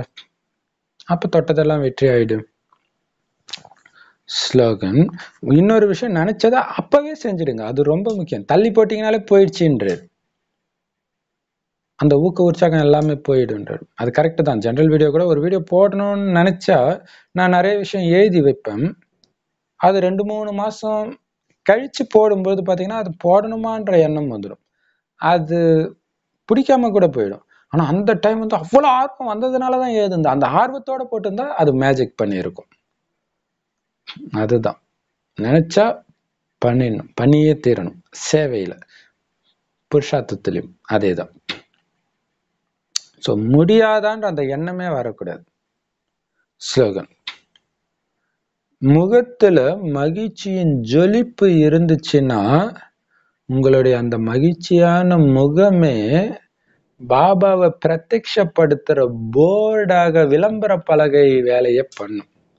இல்லையா உங்க முகத்துல அந்த மகிழ்ச்சியின் ஜொலிப்பு இருந்துகிட்டே இருக்கணும். ஏன்னா பிராமண வாழ்க்கையே மகிழ்ச்சி நிறைந்த வாழ்க்கை. இல்லையா? அப்படி இல்லைன்னா நீங்க பிராமணன் ஆவறதே ஆனதுல எந்த லாபமுமே கிடையாதுன்ட்டார். அதுக்கு என்ன பண்ணும் நிரம்பி இருக்கணும் அப்படின்னு சொல்றாரு. திருப்தியா இருக்கணும் அப்படின்னு நேத்து சொல்லியிருந்தாரு. ஸோ திட்டத்திட்ட அதுதான். அதுதான் சுருக்கி ஸ்லோகனா கொடுத்துருக்குறாங்க. இல்லையா? அந்த மகிழ்ச்சியின் பொலிவு உங்களுக்கு தெரியுது. எதுனா இருந்தாலும் நான் திருப்தியா இருக்கிறேன். திருப்திப்படுத்த தான் என்னுடைய வேலை அப்படின்னு இருந்துச்சுன்னா ஆனால் ஸ்ரீமத் படி. ஸ்ரீமத் படி திருப்தியா இருக்கணும். ஸ்ரீமத் படி திருப்திப்படுத்தணும். ஸோ அப்போதான் மகிழ்ச்சி இருக்கும். அந்த ஆன்மீக ஜொலிப்பு இருக்கும்.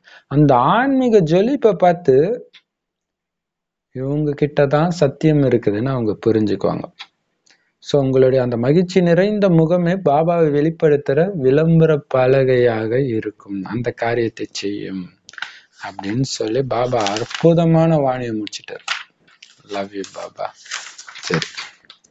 முரளி ரிவிஷன் பார்ப்போமா? பாபாவுடைய வழிதான் உயர்ந்த வழி அந்த வழிதான் உங்களை தங்கமா மாத்தும். மற்ற எல்லாமே பொய்யா மாத்திடும். எல்லாமே அசுர வழி தான் பாபா வழியை தவிர. பாபாவுடைய ஸ்பெஷல் பார்ட்டுன்னா பக்தர்களை பாதுகாக்கிறது சுகத்தை கொடுக்கறது ஞான மழை பொழிய வைக்கிறது. கூடவே சாந்தி தாமத்துக்கு அழைச்சிட்டு போறது. மற்றபடி துக்கம் கொடுக்கறது ஏன் பார்ட் இல்லை? அது மாயாவுடைய பாட்டு அதனால தான் அவனை எரிக்கிறீங்க.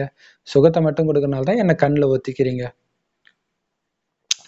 ஓம்னா நான் ஆத்மா அவ்வளவுதான். பக்கம் பக்கமா சொற்பொழிவாற்றுவாங்க. ஆனா உண்மையை மட்டும் சொல்லவே மாட்டாங்க. ஏன்னா நடக்கிறது பொய்யான ராஜ்யம் ராவனுடைய ராஜ்யம். உண்மையான தங்கமா பாபா மாத்துறாரு. ஆனா மனிதர்கள் அனைவருக்குள்ளயும் மாயை நிரம்பி இருக்கிறதுனால மாயை நுழைஞ்சிட்டதுனால அவங்க வாயில இருந்து வர்றது அத்தனையும் பொய் தான் ஸோ உங்களுக்கு ஞானம் கொடுக்குற குரு எல்லாமே பொய் தான் சொல்லிட்டு இருக்கிறாங்க. அது ஸ்ரீமத் கிடையாது. ஈஸ்வரனுடைய வழி தான் ஸ்ரீமத். அவர் எப்படி உயர்ந்தவரா இருக்கிறாரோ உயர்ந்த இடத்துல இருக்கிறாரோ அது மாதிரி அவர் கொடுக்கிற வழியும் உயர்ந்தது. எல்லா பக்தர்களும் அவரைத்தான் நினைக்கிறாங்க. அவருடைய வழிதான் உங்களை உயர்ந்தவர்களாக மாத்துது. எந்த அளவுக்கு உயர்ந்தவரா மாத்துது? அடுத்த அரை கல்பத்துக்கு இறைவனை நினைக்க முடியாத அளவுக்கு உயர்ந்தவர். ஏன்னா துக்கமே இல்லாத ஒரு உலகத்துக்கு அழைச்சிட்டு போயிடுது.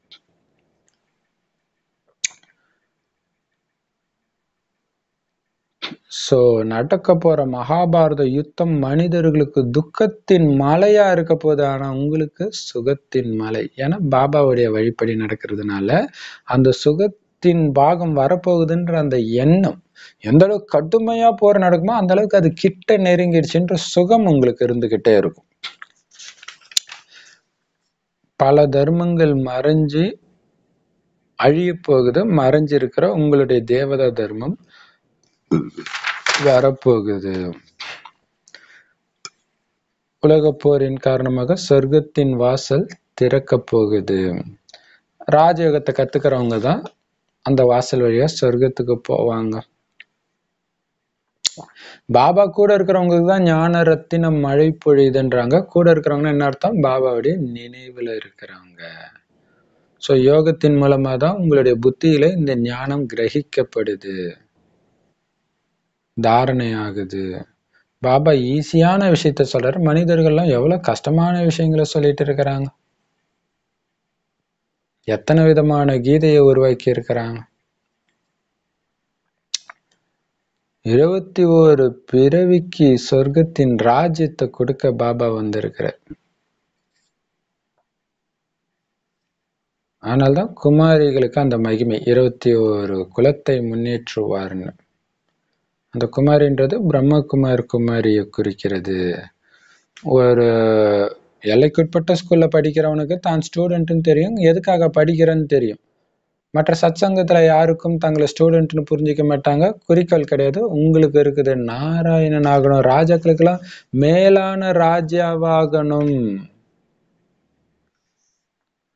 உங்களுடைய ராஜ்யத்தை மனிதர்கள் பறிக்கல. மாயை பறிச்சிச்சு அதை வெற்றி அடைஞ்சு மீண்டும் ராஜாக்களுக்கெல்லாம் மேலான ராஜாவா ஆகுங்க. இங்க அஹிம்சை போர் யோக பலத்தின் மூலமா நடக்கிற போர் மாயையை வெல்லக்கூடிய போர் நடக்குது.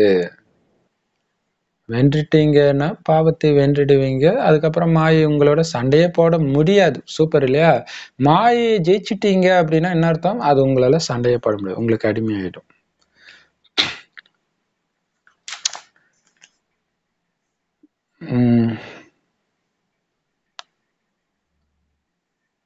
அடுத்தது பாபா சொல்றாரு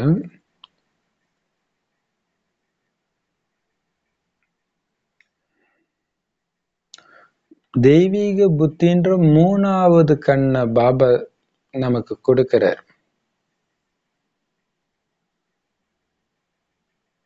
அதன் மூலமா தான் புத்தியின் பூட்டு திறக்குது. ஐயோ பொய்யெல்லாம் உண்மை நினைச்சிட்டோமே அப்படின்றது தெரிஞ்சுக்கிறோம். உண்மையிலே உண்மை எதுன்னு தெரிஞ்சுக்கிறோம். இந்த ஞானத்தை கொடுக்கறது தான் பாபாவுடைய பார்ட் பாகம். புத்திசாலிக்கு வந்தோன்னா ஒரே வாரத்துல சுவதர்ஷன சக்கரதாரியா மாறிடும். ஏழு நாள் கோர்ஸ் முடிச்ச உடனே. ஸோ சக்கரம் அப்படின்னா புத்தியோடைய வேலை சக்கரத்தை சுத்துறது நான் நாராயணன் நாராயணன். இந்த வாயைத்தான் சங்குன்னு கொடுத்து இருக்கிறாங்க. வாய் வழியே இந்த ஞானத்தை மற்றவர்களுக்கு சொல்றது.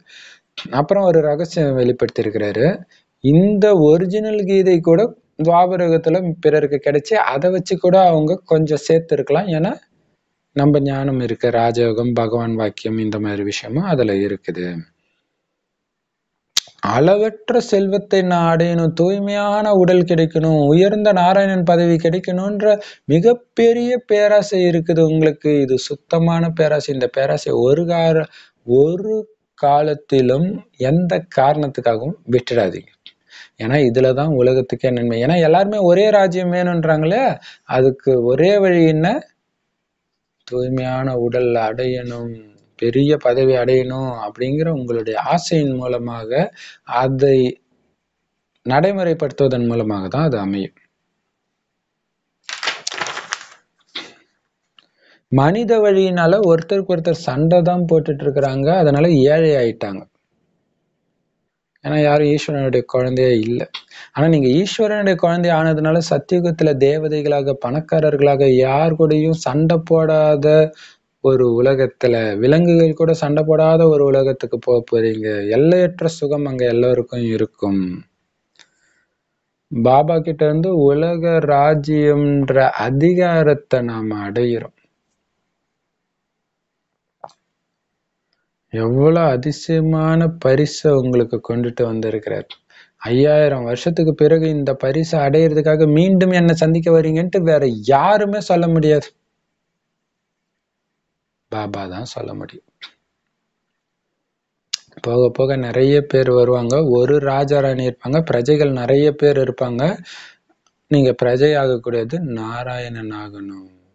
அதுக்கு என்ன பண்ணும் பாபாவோட அப்படியே ஒட்டிக்கணும். ஆனா தேக உணர்வு ஒட்ட விட மாட்டேங்குது. ஸோ பாபாவை நினைத்து நினைத்து தேக உணர்வை எரிச்சிடுங்க. ருத்ரமாலையில வருவீங்க. அப்பதான் சொர்க்கத்தின் அதிபதி ஆவீங்க தேகம் உட்பட அனைத்தையும் பாபாவுக்கு அர்ப்பணிக்கிறீங்களே அப்ப நீங்க வள்ளல் தானே? சன்னியாசிகள் வள்ளல் கிடையாது அவங்க எதையும் அர்ப்பணிக்கிறது கிடையாது. மனிதர்கள் செத்தா அவங்களுடைய அனைத்து பொருட்களையும் வெட்டியானு கொடுக்குற மாதிரி நீங்க சாகுறீங்க. பாபா குழந்தை ஆகுறீங்கன்னா செத்துட்டீங்கன்னு அர்த்தம். அப்போ அந்த பழைய உலகத்துடைய பழைய பொருள் உடல் சமஸ்காரம் புத்தி எல்லாத்தையும் பாபா கிட்ட அர்ப்பணிச்சிடுங்க. உங்களுக்கு புத்தம் புதுசாக பல கோடி மடங்காக உங்களுக்கு அங்க கிடைக்கும். ஏன்னா பாபா எதையும் தனக்காக வச்சுக்கிறது இல்ல மதுபன்ல கட்டுற பில்டிங் ஆகட்டும் சொர்க்கத்துல கொடுக்குற ராஜ பதவி ஆகட்டும் சரி நிறைய டெஸ்ட் பேப்பர் பாபா கொடுக்குறாரு. எப்போ பாபா முடியும்? உன் உயிர் பிரியும் போது முடிஞ்சிடும். மற்றபடி உலக அழிவு வந்து ஞானம் முடிஞ்சாலே ஸ்டார்ட் ஆயிடும். அந்த உலக அழிவின் பொழுது நீங்க எந்த அளவுக்கு கர்மாதித்த நிலையை அடையிறீங்களோ அதை பொறுத்து தான் சீக்கிரமா ஆத்மா பிரிஞ்சு போகும். ஸோ அதன் ஆதாரத்துல எந்த அளவுக்கு பாபாவின் வழிப்படி அந்த உலக விநாசத்திலையும் உங்களால இருக்க முடியுதோ இந்த படிப்பு எந்த அளவுக்கு தாரணை ஆகி இருக்குதுன்றதை அங்க தெரிஞ்சிடும். அதன் ஆதாரத்துல உங்களுக்கு அங்க உயர்ந்த பதவி கிடைக்கும். கடைசியா வந்தாலும் பரவாயில்ல. உடனே நீங்க டக்குன்னு ஞானம் யோகத்துல மூழ்கிட்டீங்க தீவிரமாயிட்டீங்கன்னா உயர்ந்த பதவி கண்டிப்பா அடைய முடியும். வரதானம் பாபா சொல்றாரு. ஒரு எண்ணம் உயர்ந்த எண்ணம் வச்சீங்கன்னா அதை உடனடியா நடைமுறைப்படுத்திடுங்க. உடனடியா அதனுடைய சொரூபமாகிடுங்க. கொஞ்சம் கூட நம்மளால முடியுமான்ற அந்த எண்ணமே வர விடாதீங்க. ஏன்னா மகாவீரன் நீங்க. சதா ஞாபகம் நான் சாதாரண வீரன் கிடையாது. மகாவீரன் சதா காலத்துக்கும் வெற்றியாளன் முன்னேறக்கூடியவன் அப்படின்ற எண்ணத்தை வச்சுக்கிட்டே இருங்க. இந்த எண்ணங்களின் மூலமாக வெற்றி மூர்த்தி ஆயிடுவீங்க. நான் என்ன சாதாரண ஆத்மா சாதாரண ஆத்மாவா? அது இருந்துகிட்டே இருக்கணும். நேற்று வானிலை வந்து குமாரிகளை சொன்னார் இல்லையா? பயமா இருக்கா சென்டர்ல வர்றதுக்கு? இந்த மாதிரி பயம்லாம் யார் அசைக்கும்? உறுதியான எண்ணம் இல்லாதவங்கள உறுதியான எண்ணம் உள்ளவங்களை யாருமே அசைக்க முடியாது. எந்த சந்தேக புத்தியும் அசைக்க முடியாதுன்ற ஸ்லோகன் சொல்றாரு அனைத்தும் நிரம்பி திருப்தியா இருந்தா உங்க முகம் மகிழ்ச்சியா இருக்கும். நேத்து சொன்னார் அந்த மாதிரி மகிழ்ச்சியான முகம் அப்பாவுடைய குழந்தைங்க இவங்க இறைவனுடைய மாணவர்கள் இவங்கன்றத உங்க முகமே பறைசாற்றும். அந்த மாதிரி இறைவன் வந்துட்டாருன்ற செய்தியை உலகத்துக்கு சொல்ற அறிவிப்பு பலகையாக உங்களுடைய சிரிச்ச முகம் தென்படும். அப்படி ஆகுங்க அப்படின்னு சொல்லி பாபா முரளியை முடிச்சிட்டார் Om Shanti. Love you Bap Dada thank you Bap Dada